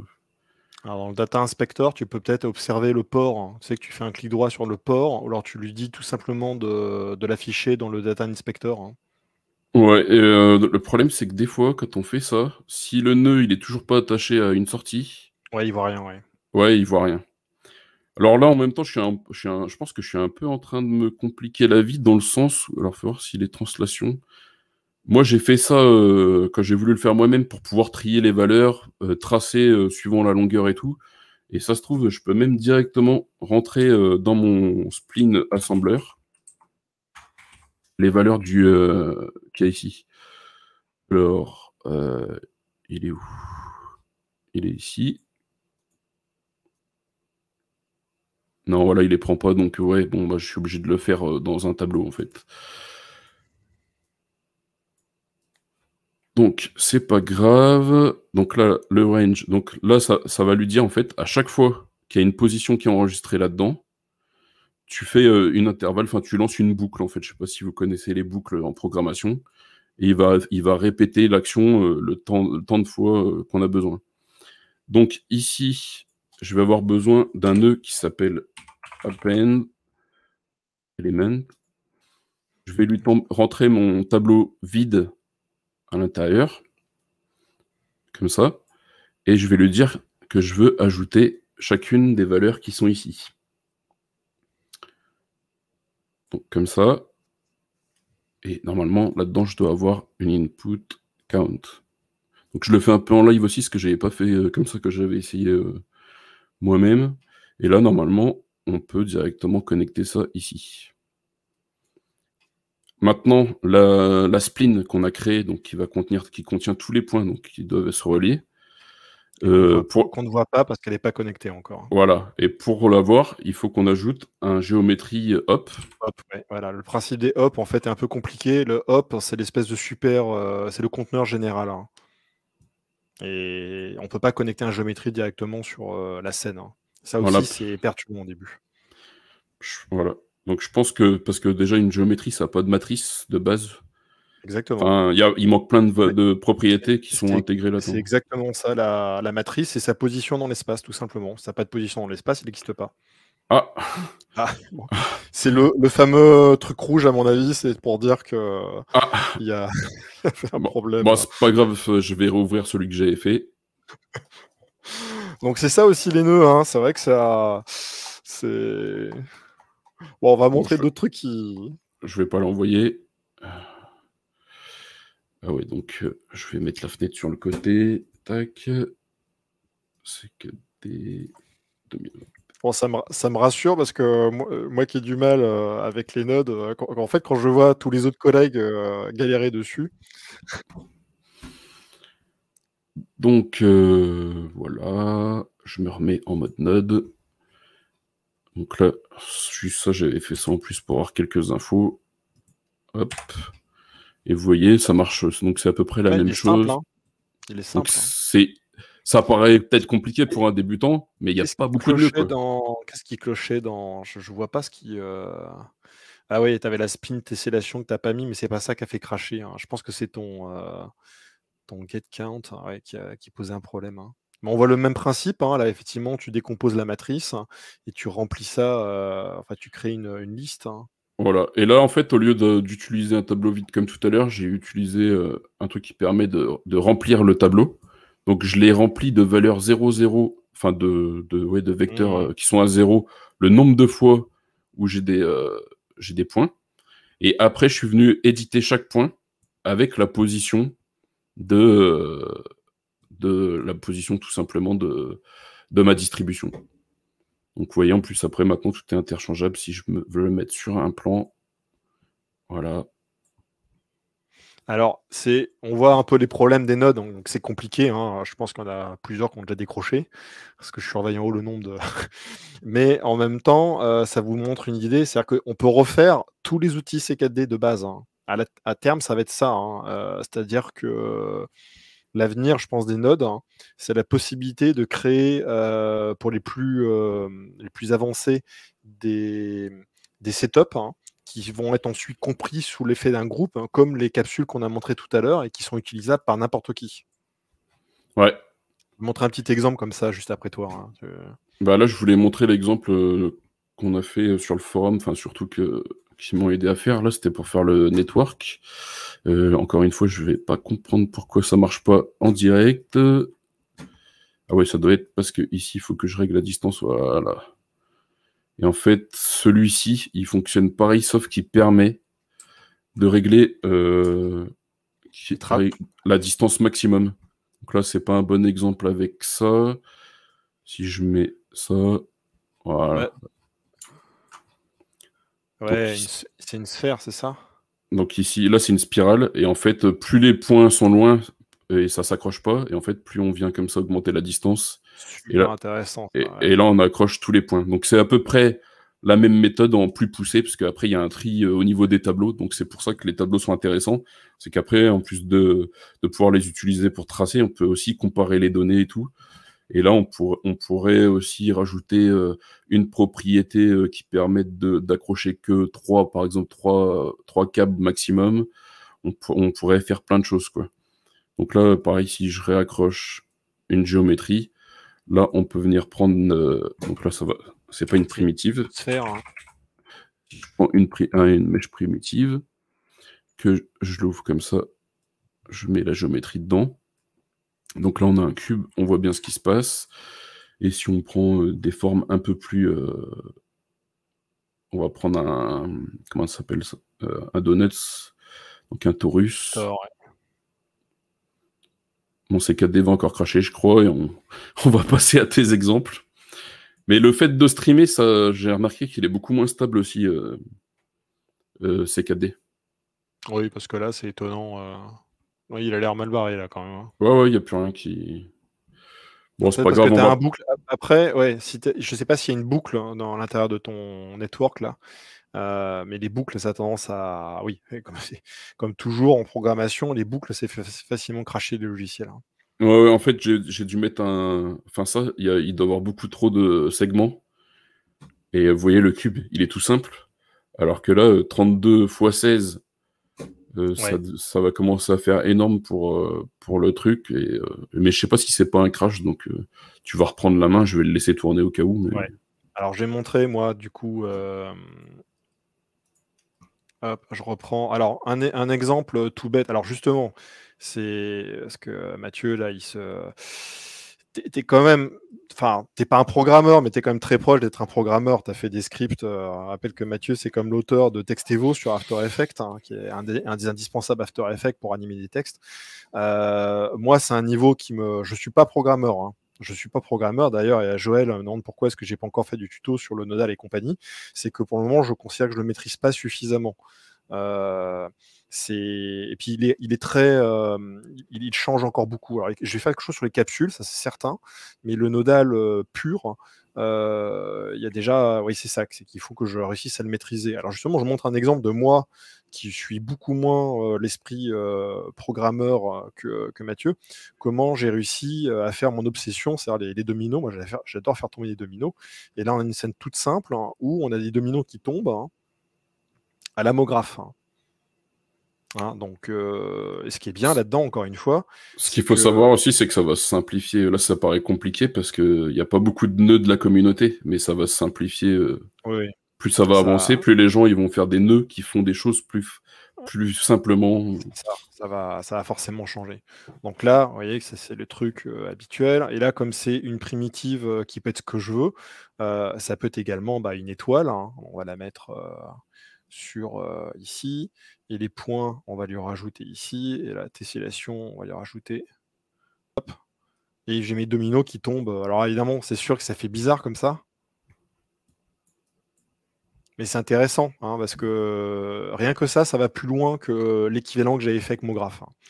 Et ce qui est intéressant, c'est que ça, je vais le refaire et je sais que ça va marcher parce que c'est pas très compliqué. C'est que j'utilise ici euh, un effecteur inheritance qui est en fait hein, celui que vous trouvez à l'intérieur. Hein.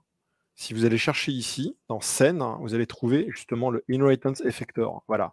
Ça, c'est un. Donc, c'est livré avec Cinema 4D, c'est dans la database, dans, le, dans, la base de données.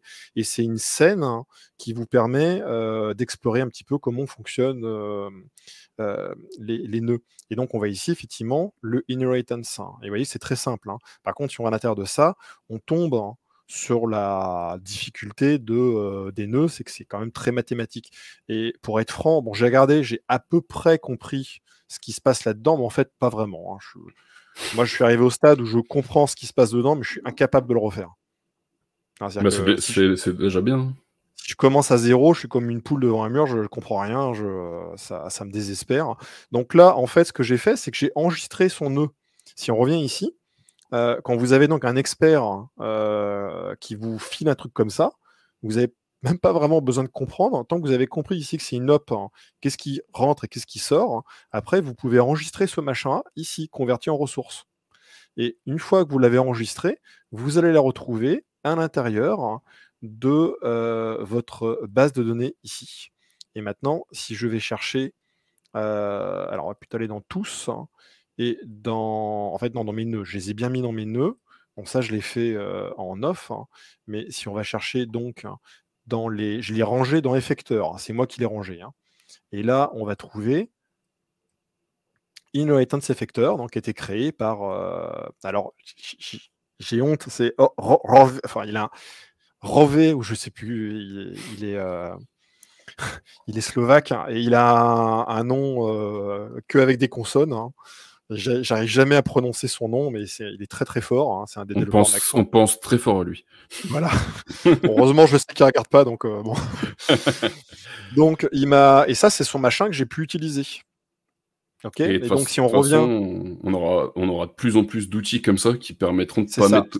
Par exemple, moi ce que je faisais tout à l'heure, récupérer euh, les valeurs des positions pour les mettre dans une spline, il y a un mec qui va sortir un nœud qui s'appellera position to spline et vous aurez juste à connecter les deux sans, sans faire tout le travail. Et là j'ai mon truc de base, hein. donc on va on va le refaire euh, on va le refaire vite fait. Euh, je vais mettre mon anti-sèche sur la gauche.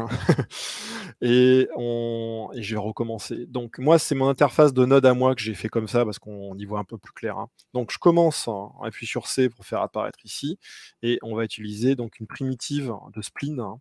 Donc primitive spleen. Hop. Cette primitive, ça va être une spirale. Hein. Donc en fait, c'est ici. Et on ne voit rien, ça c'est le premier truc intrigant parce qu'il faut le rentrer. Donc vous pouvez tout de suite le faire en allant ici. OK donc hop, on le met comme ça, et puis je vais déjà euh, arranger ma spirale comme il faut. Donc on va mettre une hauteur à 0. le rayon euh, final, hein, il va être ici, et ça suffit. Ah, t'as vu, on peut pas faire des presets ici. Ouais, parce que c'est un nœud. Ça, je pense que c'est une chose qui va venir, c'est un asset euh, qui est en nœud. il considère, en fait, c'est déjà un. Ouais, oui, intéressant. Donc, euh, ensuite, on a notre spirale. Maintenant, je voudrais euh, m'en servir pour distribuer des objets. Alors déjà, on va créer l'objet en question. On va créer mon domino. Donc euh, là, je double-clique hein, pour changer, plutôt qu'appuyer sur C. Et on va créer, bah, je vais à nouveau mettre une primitive. Quoique là, il n'y a pas besoin, on va mettre un cube. Hein, parce que ça ne va pas changer, il n'y a pas vraiment de raison. Vous voyez, j'ai le choix entre ces deux-là. J'ai pour la géométrie cube. Hein. Géométrie veut dire que je ne peux pas la connecter ici. C'est pas possible. Ok? Donc, c'est pas grave. Hein. Il suffit d'aller chercher le GeoHop. Hein. GeoHop, hein, ici, que je vais mettre en favori, comme ça, il apparaîtra toujours en premier. On va connecter le géométrie ici, et c'est-à-dire que maintenant, il peut à apparaître là-dedans. Donc, ajouter une entrée, on le met ici, et voici mon cube. Je vais le modifier très vite, et le faire à la taille qu'il faut. Hop, voilà tu gères bien les dominos, toi. ah ouais. Je suis. C'est un, peu, un peu mon obsession, les dominos. Ouais. Je sais pas pourquoi. Hein. Euh, et on fait un petit chanfrein. Voilà, donc ça c'est notre domino de base. Maintenant, je voudrais le distribuer sur euh, notre, euh, notre scène. Donc on l'a distribué le long de la spirale. Hein. Pour ça, la spirale, pour le moment, on peut pas. il faut lui donner des points.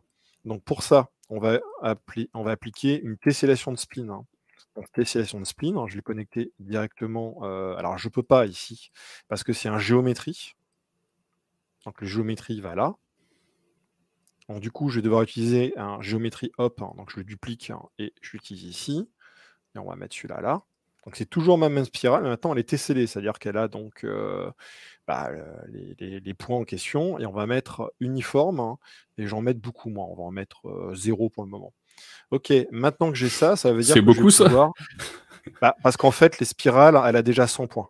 Oui, oui, oui, non, je plaisante, c'est que tu as dit je vais en mettre beaucoup, et après tu as mis zéro. c'est 100, alors c'est même pas 100 fois 0, c'est-à-dire qu'il n'en rajoute pas, ouais, tout simplement. C'est pas exactement multiplicateur. Donc maintenant, il faut distribuer tout ça. Donc on revient à ce que tu as fait toi. On va chercher un distribution et on va chercher le distribution hop. Hein. Donc distribution. Distribution. Il faudra également que je lui mette voilà, un, petit machin comme ça, le, cœur qui permet de le faire apparaître en premier. Et on va le mettre directement ici. Et donc ma distribution, je vais choisir d'utiliser plutôt que linéaire, hein, on va utiliser une distribution qui est basée sur des points. OK? Et donc là, on a nos éléments. Donc il distribue, il distribue selon la spirale. Hein, d'accord? C'est ça qui est important vraiment à comprendre, c'est distribution selon la spirale. Et qu'est-ce qu'il va distribuer? Il va distribuer donc nos. Alors c'est l'inverse, hein, c'est bien ce que je me disais, je me suis trompé. La distribution selon la spirale, c'est lui. Donc c'est notre géométrie hop qui doit aller là. Donc je vais virer ce truc. On voit que ça fonctionne. On peut donc faire une distribuer un objet sur lui-même. C'est intéressant ça. Quand je faisais ça. Il distribue la spirale sur lui-même. Hein. J'avais jamais essayé. Tiens, je pense qu'il y a des potentiels de, trucs à faire.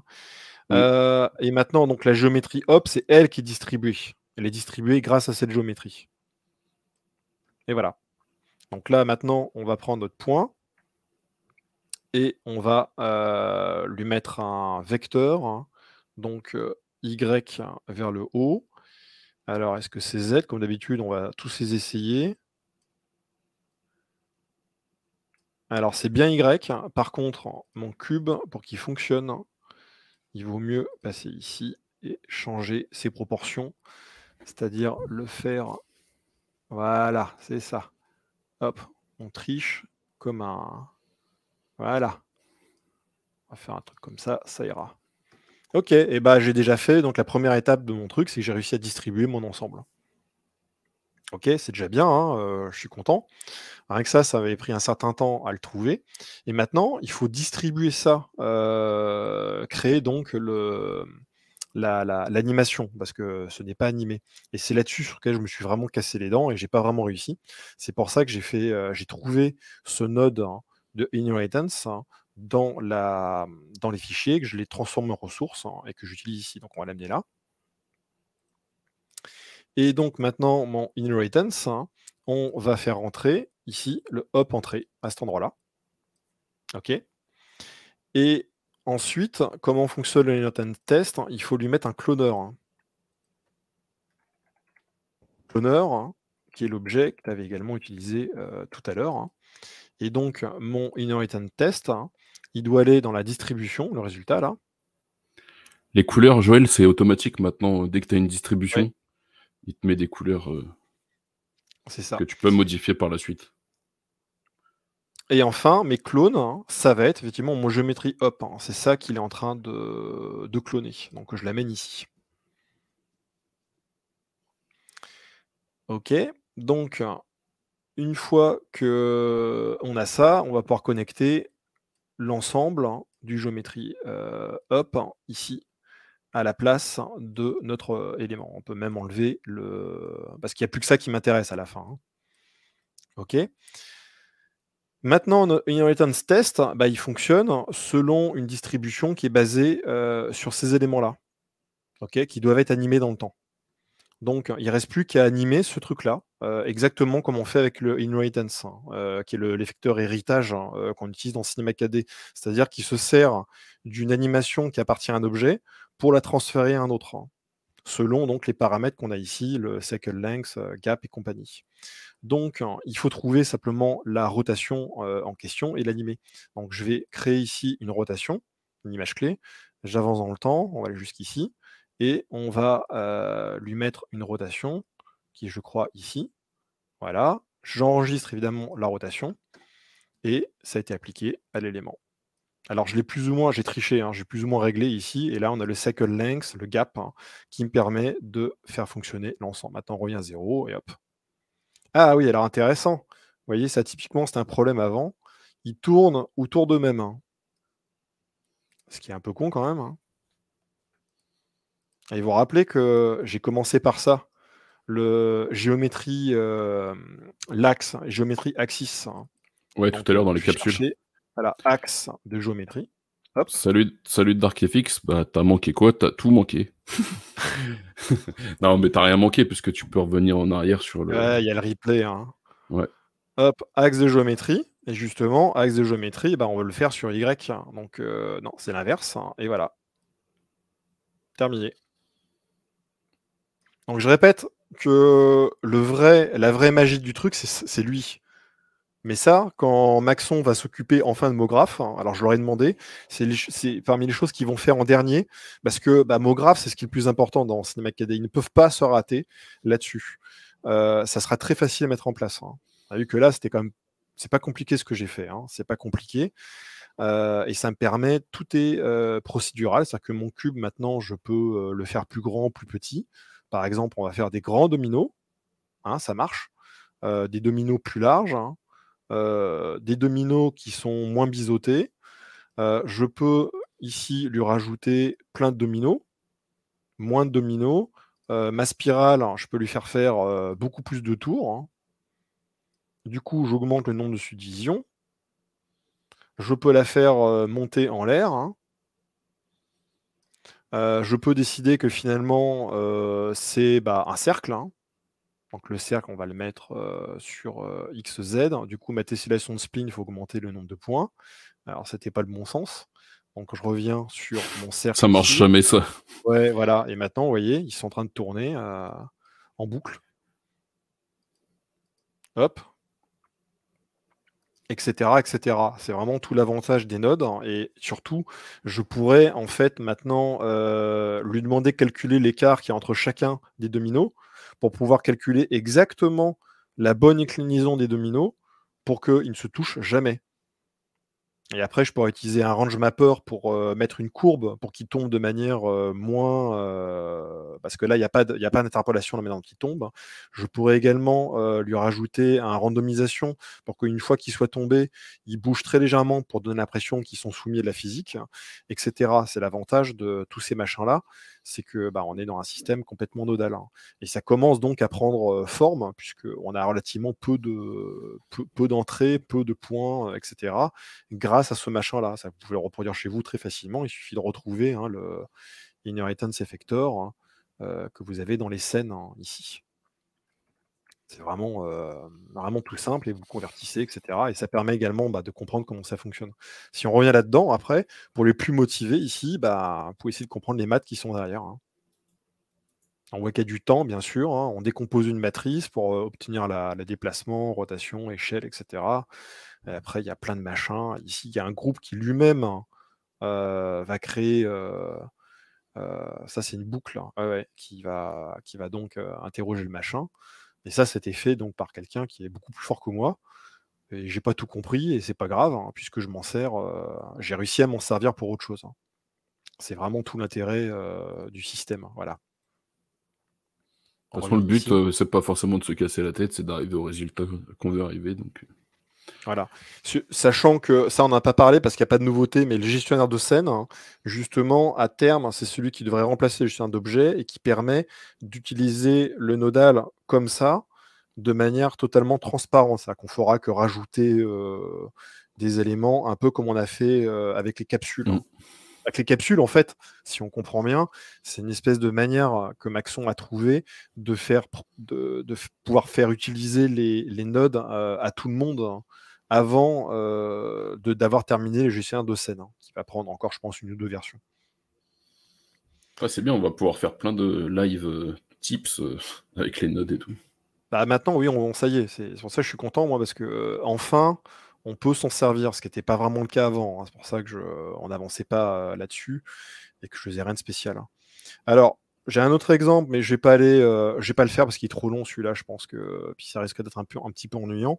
Mais ça, je l'ai fait uniquement avec des nodes, hein, parce que je trouvais un tuto Blender avec un mec qui faisait géométrie node. Hein. Et là, alors ça a l'air compliqué comme ça, mais ça, lui, il est vraiment pas. On peut simplement le regarder parce que faut pas se laisser intimider. Autant le inheritance que je vous ai montré tout à l'heure, je le trouve compliqué parce qu'il y a des boucles, il y a des, des logiques pas évidentes. Ça, c'est neuneux en fait. Hein. Euh, en gros, on a une étoile hein, qui va dans une extrusion contrôlée. Et ça, ça fait ma crème qui est au-dessus. Ça, c'est que des trucs que vous connaissez. Une C'est des spirale. trucs qu'on aurait pu faire dans la hiérarchie, mais. euh, Ah, mais là, est- j'ai- je n'ai ex- absolument, je n'ai rien inventé. J'ai fait une modélisation que je ferais normalement, euh, exactement de la même manière en utilisant les nœuds. Donc, ça me permet ici d'avoir, bah voilà, hein, je gère mon machin et j'utilise les biseaux, les trucs subdivisés pour le rendre un peu plus sympa, etc. Il est dans une matrice. hein. On a notre petit gâteau qui est là-dedans. Bah, ça, c'est un cône. hein qui ensuite, avec un bounding box hein, qui permet de limiter en fait la zone, euh, qui me permet de créer du bruit, qui est créé par un random. Et l'effecteur simple, en fait, ici, c'est euh, voyez, je rajoute en fait, hein, je déplace euh, des, points de manière random hein, à partir d'un code. hein. C'est vraiment très simple. En bas, ça, c'est simplement un disque qui est ensuite, euh, avec un modulo, je choisis 1 sur 2. Ensuite, je déplace des éléments vers le haut, je les extrude et tout, et ça me fait la base de mon gâteau. Et après, on a le fameux euh, solidifié là. Où est-ce que je l'ai mis? Ah non, j'ai mis un extrudé finalement, je sais pas pourquoi. Extrudé qui permet donc de. Voilà, c'est celui qui va vers le haut. Et ça, c'est l'extrudé qui crée l'épaisseur.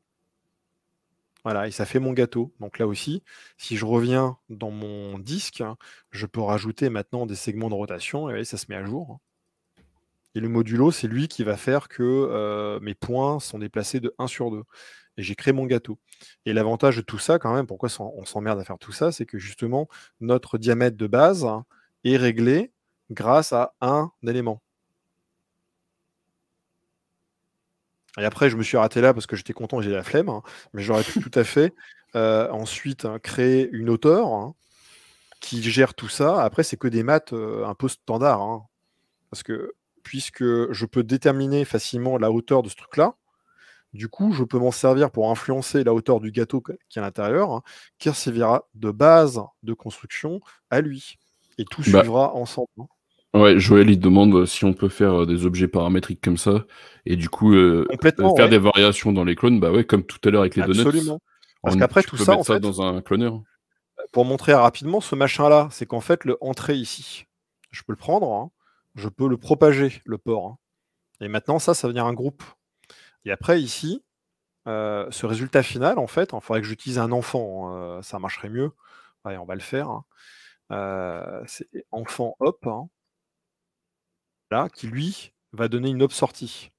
Donc c'est un peu le même principe. hein. Donc on va amener les nœuds qui sont ici. On va en mettre un là. On va mettre celui-là ici. Et l'enfant hop, on va rajouter une entrée. On va mettre celui-là là. Et si je le connecte, le hop sorti, il va obtenir le même résultat. Sauf que lui, maintenant, je peux le connecter là. Propager le port. hein. Et ce machin-là, maintenant, ça peut devenir un groupe. hein. Donc je vais prendre tout ça. Et en faire un groupe. hein. T'as pris le Sunroute euh, aussi. Ouais, il faut prendre. euh, Faut tout prendre sauf le crois que Sunroot. Si je, si je fais un contrôle A, ça marche, ouais, très bien. Donc maintenant, si je fais tout ça, et je crois que c'est contrôle G, G, euh, pour le grouper, Clic droit sinon. t'as déjà essayé ça? Moi, j'ai fait très peu encore. hein, et je suis... Couper les nœuds, voilà. Et maintenant, ce machin-là, c'est un nœud complet. Et ici, je vais trouver donc euh, mon, Ouais, désactive le. mon élément, voilà, Ouais. ici. Qui En permet fait, t'avais pas de- besoin de le propager, celui-là. Je crois que si, quand un entrée, non, il n'y est pas. ouais. Non, en fait, quand tu les groupes, justement, t'as les propagations qui se font automatiquement euh, tu dans, dans le groupe. Voilà. Et si je reviens en fait à l'intérieur d'ici, c'est ce machin-là, il faut quand même qu'il aille dans. euh, Ah oui, t'as raison, je crois que celui-ci, il n'y a pas besoin. Non, tu vois, tu l'envoies dans ta scène et c'est bon. Voilà. Et lui, par contre, il doit aller. Alors, du coup, j'ai fait un. Voilà. Mais, même, même, même en entrée, t'as pas besoin de le. Et ce machin-là, enfin, peut être enregistré, converti en ressources. Bon, là, il est pourri, mais j'ai comme le faire pour montrer l'exemple. hein. Donc euh, là, je vais choisir ça. On va le mettre, donc, catégorie, on va le mettre dans les nœuds, et on va le mettre en générateur de géométrie. Voilà. Et j'ai appelé euh, Cupcake. OK.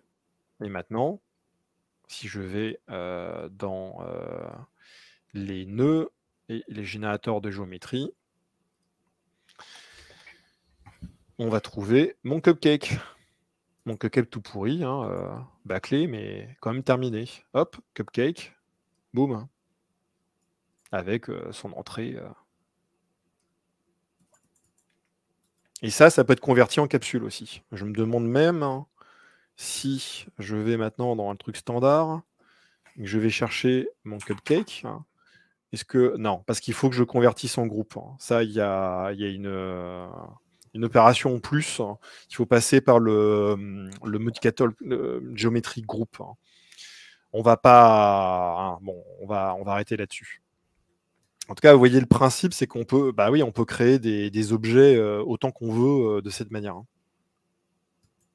On peut ensuite utiliser, et ça, ça peut être euh, effectivement une capsule.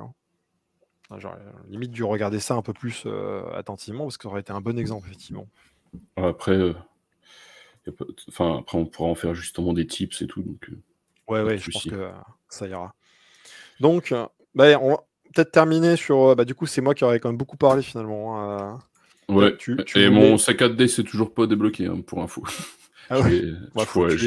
je, vais, tuer le processus. Ah En voulant tuer le processus, il s'est débloqué. Ah oui, original. Hein. Alors, je vais vous montrer simplement, aller très vite, hein. dans Redshift, les nouveautés, simplement, c'est Redshift RT quand même, hein. ah, parce que ça, c'est vraiment cool. On va terminer là-dessus, parce que je sais qu'il y en a qui l'attendent. Donc, euh, où est-ce que je l'ai rangé déjà? Ça, se trouve, j'ai fait euh, un raccourci, et, j'ai utilisé euh, la touche échappe, et ça se trouve, ça l'a vraiment débloqué. Ouais, t'as cassé la boucle, c'est possible. Alors ça, c'est le tout dernier Redshift RT qui vient de sortir. Hein. Donc il fonctionne par contre que sur les PC, que sur la Nvidia. Hein. C'est uniquement CUDA. il faut une carte graphique du genre bien balèze. Hein.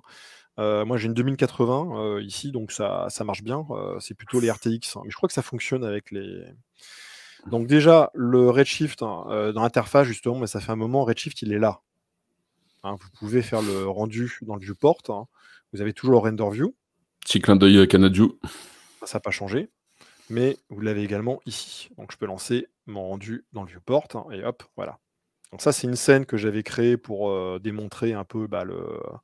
Et ça, c'est le rendu classique, c'est pour montrer l'OCO, hein, donc je ne vais pas en parler, mais en gros, ça, c'est un rendu OCO. Et on voit que c'est fluide, hein, ça reste Redshift, euh, ça devient vite propre, c'est chouette. Quoi. Ok? Par contre, on peut pas appeler ça vraiment du temps réel. c'est sympa, mais c'est... Voilà. Donc, on va arrêter déjà Redshift ici parce qu'il n'est pas accessible encore. Et on va lancer Redshift dans le render view. Et vous avez le joli bouton RT. Donc je vais lancer Redshift. Donc on l'a ici.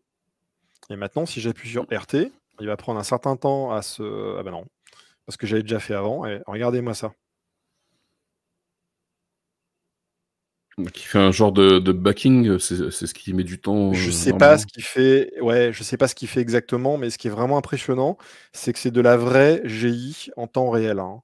C'est assez dingue, hein, dans le sens que si maintenant je fais apparaître des nouvelles lumières, comme par exemple hein, cette lumière, euh, euh, une lumière neutre ici, donc je vais éteindre la grande lumière qui est en haut. Vous voyez bien que la GI se met à jour. Ah ouais, t'as du vert quand même dans les ombres et tout. Enfin, t'as les rebonds de lumière et tout, ça c'est fou. C'est assez dingue. Hein. C'est la vraie GI en temps réel. Hein. C'est quand même, c'est fou. Et ça reste une fluidité incroyable. Hein. Grafos, dit que c'est une, une, machine à crash chez lui. Mais peut-être parce que toi, justement, Grafos, t'as peut-être pas une RTX. Ouais. Euh, je crois que c'est très dépendant. C'est très dépendant du matériel qu'on a. Alors oui, ça crache pas mal. C'est vraiment une version bêta. Euh, là aussi, il va falloir être un peu patient pour que ça soit euh, utilisable vraiment comme il faut. Mais euh, c'est déjà très impressionnant et vraiment balèze dans ce qu'il réussit à faire, je trouve. Hein. Ouais, en plus, là, tu vas me dire que tu n'as pas fait vraiment de configuration, quoi. Tu juste, es juste passé. Ah oui, c'est ma scène à la con que j'ai mis, j'ai mis comme ça, hein, qui fonctionne très bien. Alors, on va Je sais pas, vit maintenant comment ça se passe, mais au début, il fallait quand même configurer quelques trucs de base pour que ça fasse bah, ça. En fait, c'est vraiment pas comparable. Hein. C'est vraiment pas comparable et c'est presque ça qui est intéressant, c'est que c'est pas du tout le même. En fait, Eevee, c'est un moteur de jeu vidéo qui est vraiment super. Eevee, je l'adore. Hein. Encore une fois, je me suis mis à fond à Blender. Je le connais maintenant vraiment bien. Et c'est un logiciel extraordinaire, Blender. Hein. il est vraiment super. Mais Eevee, non, c'est pas, c'est pas la même chose. Alors, attendez, j'essaie de trouver ma chambre.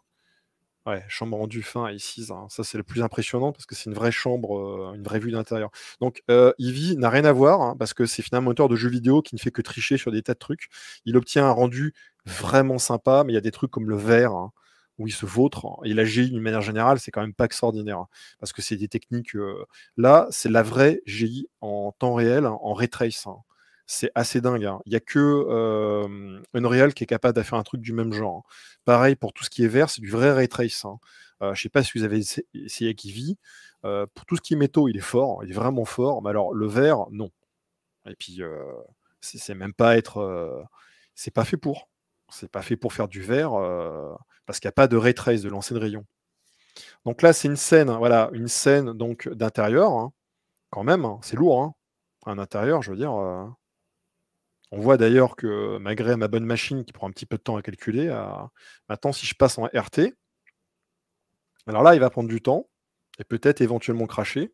C'est là où justement Graphos il nous disait euh, qu'il précalcule, je vais afficher, il précalcule la scène et la compute les, et compute les shaders la première fois.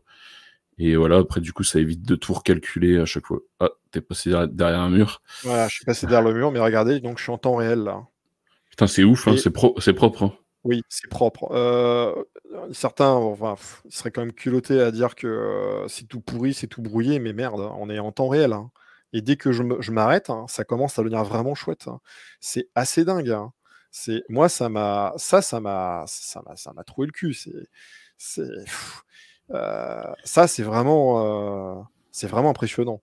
Donc, si maintenant je vais chercher, euh, on va aller dans la vue de. J'ai bloqué. Euh, ouais, non, c'est bon, elle est déjà bloquée. là, je suis un peu à l'étroit dans l'interface, mais bon. Euh, maintenant, je vais prendre ma lumière, voilà, mon Redshift Sun. Hein. et je suis en train de bouger mon Redshift Sun. Hein. Ah, il faut que je coupe ma Aerolite aussi. Ça me rappelle mes premières fois avec Vrai où je galérais à déplacer des lumières. Ah 35 minutes entre chaque, euh, chaque plan. Moi aussi, hein. et puis je vais couper le, polygone euh, de l'extérieur. C'est ça, ça c'est vraiment impressionnant. Et si la lumière va frapper le mur, hein, on va voir. Euh, vous avez vu? La GI qui change. En... C'est absolument dingue. Hein. Ah ouais. Et ça, en combinaison avec l'OCIO, parce que ça, c'est une scène OCIO. Euh, OCIO, c'est vraiment de la balle. Hein. C'est génial, hein, en fait. Hein. c'est aussi bien que ce qu'on vous a promis. Euh. Donc là, euh, j'augmente le f-stop. T'as vu? Enfin, Ça, c'est génial. Et Ivy, je suis désolé, mais là, il se fait. Il se fait. Il n'y a pas de concurrence. Et Ivy, c'est autre chose. Et du coup, après, en temps de rendu final, c'est vraiment plus rapide aussi ou... Alors non, euh, si on fait le rendu évidemment euh, dans, euh, à la fin, c'est pas vraiment destiné normalement à être un moteur de production. D'accord, c'est juste pour. C'est-à-dire que ouais, c'est pour voir parce qu'il y a quand même plein de simplicité. Pareil, là j'ai mis des scènes, les scènes qui n'ont pas craché en gros, et également les scènes avec les shaders compatibles. Hein. ok. Euh, c'est-à-dire qu'il y a plein de trucs qui ne fonctionnent pas. Il y a le Maxon Noise qui ne fonctionne pas. Euh, c'est quand même dommage. Il y a euh, le SSS ne fonctionne pas. Qu'est-ce qu'il y a d'autre qui Tout ce qui est hémographe, hein, le multi-shader, etc., ça ne fonctionne pas. là, vous avez vu mes, lumières de mon soleil. Hein. Normalement, je peux les flouter, avoir que mon, ma lumière de soleil. Hein, on a ça, si on va dans le détail. Au niveau de c'est le softness. Ouais, voilà, le... softness, bah, il fonctionne pas. Il fonctionne pas. Ça, paraît logique un peu. Ça va venir, ça va venir ces trucs. Hein. Euh, donc il y a des trucs. Qui... Mais... Et après, normalement, ton vrai rendu, tu le fais quand même comme ça. Mais ce qui est dingue, c'est regardez, il n'y a pas de différence. Il y en a très peu. Bon, à part effectivement les ombres. Euh, donc je trouve que c'est ouais, c'est aussi prometteur que ce à quoi je m'attendais. Enfin, t'imagines juste pour placer ta caméra déjà. C'est trop, trop cool quoi. Comme ouais, c'est super. Hein. Après, il y a encore des petits bugs hein, parce qu'il a l'air de perdre ma, mon, ma, mise au point là, comme ça. Ah oui, il y a la profondeur de champ n'est pas compatible encore aussi. Ah ok. Et le vert, du coup, il y en a dans la scène? Enfin, on, pourrait voir ou... Oui, bah, j'ai changé ce truc. Hein. Ça, le vert, il fonctionne très très bien aussi. Ce qui est également très impressionnant, justement, parce que euh, pour revenir à Eevee, attention, je dis pas que Eevee c'est de la merde, hein. loin de là. Hein. Eevee c'est génial, hein. j'adore Eevee. Mais, on a compris ça, on enregistre. Mais, ce n'est pas fait pour. Euh... C'est pas la même chose. Hein. Voilà, ça c'est ma boule de verre. Vous voyez, ça fonctionne. C'est tout con. Hein, c'est si je mets, j'augmente mon roughness. Ah, je crois que le roughness n'est pas pris en charge sur le verre. Ce qui n'est pas très étonnant parce que c'est. Euh, ah non, non, si, si, vous voyez, ça marche. Ce qui est ah ouais. impressionnant parce que Ah ouais, ça c'est impressionnant ça. C'est super lourd. Ah c'est génial ça. Ah ouais. Et t'imagines là, pour, même pour envoyer des previews aux clients et tout. Euh... Ouais, bah c'est ça, c'est ça. Et moi, je prédis en fait hein, que euh, Redshift RT il va être utilisé en prod, bien sûr, hein, qu'il va être utilisé en prod. Pourquoi ne pas s'en servir en prod hein? Pour faire du mographe euh, euh, ou même des animatiques 4 étoiles, c'est largement suffisant, je trouve. Ah ouais, ouais. Ah ouais, si j'envoie des animatiques comme ça à mes clients, ils vont être contents. c'est sûr. Donc euh, voilà, c'est super prometteur. Alors encore une fois, il faut évidemment une machine de dingue. Hein. Euh, ça plante pas mal. Euh, il y a encore plein de fonctionnalités qui sont pas compatibles, mais c'est sacrément prometteur. Hein. moi, je suis vraiment. Bah, je pense que ça s'entend. Je suis très vraiment content de ça, quoi. Ouais, je pense que les gens dans le chat, euh, ils sont aussi bluffés. Et, pas oublier que RT, c'est RT, c'est compatible. Redshift est un moteur. Euh, croyez-moi, Redshift, c'est vraiment pas, c'est pas la même équipe que Maxon. Ils travaillent dans leur coin. Euh, ça botte une boîte Maxon. ils continuent à développer pour Maya, pour Houdini. il paraît que le meilleur Redshift, c'est celui pour Houdini. Voilà. Donc c'est intéressant également pour les autres, notamment moi sur Blender, je suis en train de tester Blender pour Redshift, hein, c'est très chouette. C'est très prometteur ça aussi. Je suis vraiment content de le retrouver dedans, dans, Blender. Hein. Et RT sera également disponible à terme sur les autres plateformes. Hein.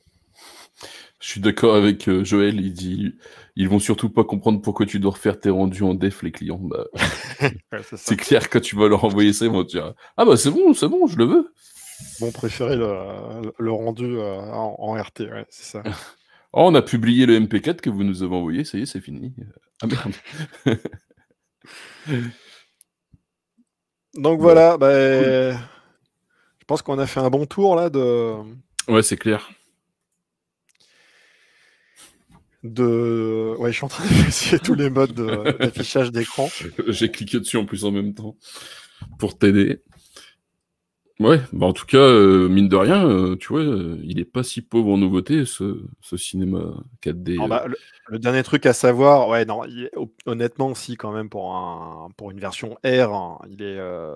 Il par, par rapport à ce qu'on a l'habitude, oui. C'est ça. mais ce qu'il faut savoir, c'est qu'ils font un boulot énorme de à l'intérieur de Cinema 4D. Euh, en fait, ils sont en train de changer le moteur de l'avion en plein vol. Hein. C'est pas facile. Hein. Donc, ça prend du temps. Ça prend du temps. Et ça, je comprends par contre la frustration de chacun. Euh, pareil, il y a les, changements de licence. Bon, je comprends certaines frustrations. Je ne vais, pas en dire plus. Mais, euh, mais je pense qu'à terme, ça va, ça va en valoir la, ça en vaut la peine. Ça en vaut la peine. Euh, moi, je suis quand même content. J'ai vu Cinéma KD, je m'y suis mis, euh, je crois, à la version 13. C'est relativement tard, en fait. Hein. Et je l'ai vu euh, évoluer de manière assez incroyable. Hein. Donc, moi, je suis content parce que mes deux logiciels préférés, ils avancent comme des dingues tous les deux. Hein. Blender et. Blender et, et, Cinema 4D, c'est parmi les plus, les plus actifs en ce moment dans l'industrie. Ouais, c'est sûr. Et euh, Joël qui demande euh, rendez-vous samedi, je pense qu'il parle du. Euh, ouais, les motion plus design, effectivement, moi j'y serai, hein, donc en volontiers. Hein, il faudrait que tu viennes vers moi parce que je sais pas à quoi tu ressembles. Hein, J'adore le C'est incroyable, mon slip à une bosse. Ouais, ouais, c'est l'impression que ça m'a fait le même effet, moi aussi. La première c'était ah Je vous dis pas sur le Discord Redshift, c'était la, c'était la, la fête du slip. Ils étaient tous. C'était devenu une blague sur le Discord Redshift. Euh, Redshift euh, RT, c'était le Messi. Attendu depuis deux ans quand même. Hein. Mais il est là, enfin. J'ai le même sentiment avec un autre soft. Tu parles de quel soft? Bah, Blender, sûrement, c'est par rapport à ce que je disais. De toute façon, en ce moment, les trois qui évoluent le plus, c'est Blender, euh, Houdini et, et Cinema hein. C'est les trois qui tirent. Euh, sachant que Blender fait des trucs assez incroyables. Hein. Après, Houdini il, un... Houdini, il est un peu à part. Enfin, c'est pas forcément les mêmes utilisateurs. Non, Houdini, bah, c'est que des nodes. Moi, ce que j'aime bien, c'est qu'ils vont garder Cinema 4D de... traditionnel derrière. Hein. Faut pas croire qu'il faut faire des nodes. personne vous oblige. Personne n'oblige personne à faire des nobles, hein, des nodes, hein, heureusement. C'est sûr. En tout cas, je pense que c'était euh, c'était un, une avancée qui était nécessaire étant donné que Cinema 4D était déjà euh, en avant sur le côté procédural quand on le compare avec, euh, avec Blender par exemple. Ah oui, il faut savoir que Blender il va, il fait, il va exactement dans la même direction. Hein, mm je doute que tout le monde sur Blender a envie de se mettre à faire des nodes, hein, mais ça n'empêche pas de continuer à utiliser le Blender standard. Euh. Ouais, ouais, je comprends pas les gens qui critiquent par rapport à ça, parce qu'ils sont pas obligés de l'utiliser, c'est pas comme s'ils avaient remplacé. Euh, c'est un ajout, quoi. Ça va pas être abandonné. Hein. Bon, bah on va vous laisser alors. Hein, euh, c'est bien, on a réussi à faire un tour assez complet en deux heures.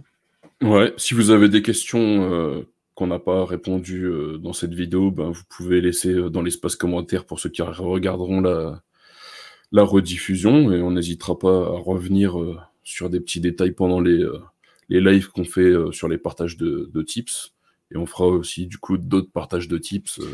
Alors ouais, je, peux déjà annoncer, peut-être dès la semaine prochaine, je vais faire un live sur le workflow haut. Ah ouais, ça c'est très important ça. Et expliquer comment s'en servir parce que c'est effectivement assez génial. Euh, il était très bien implanté dans Redshift. Hein. C'est vraiment chouette. Hein. Donc avec After et tout, comment le compositer correctement dans After et tout ça. Euh, on fera un live autour de ça bah, très bientôt. À chaque fois, c'est des, des sujets un peu abstraits, mais on, a besoin de tous s'y mettre en ce moment. Donc je pense qu'il va être très attendu ce, ce petit live.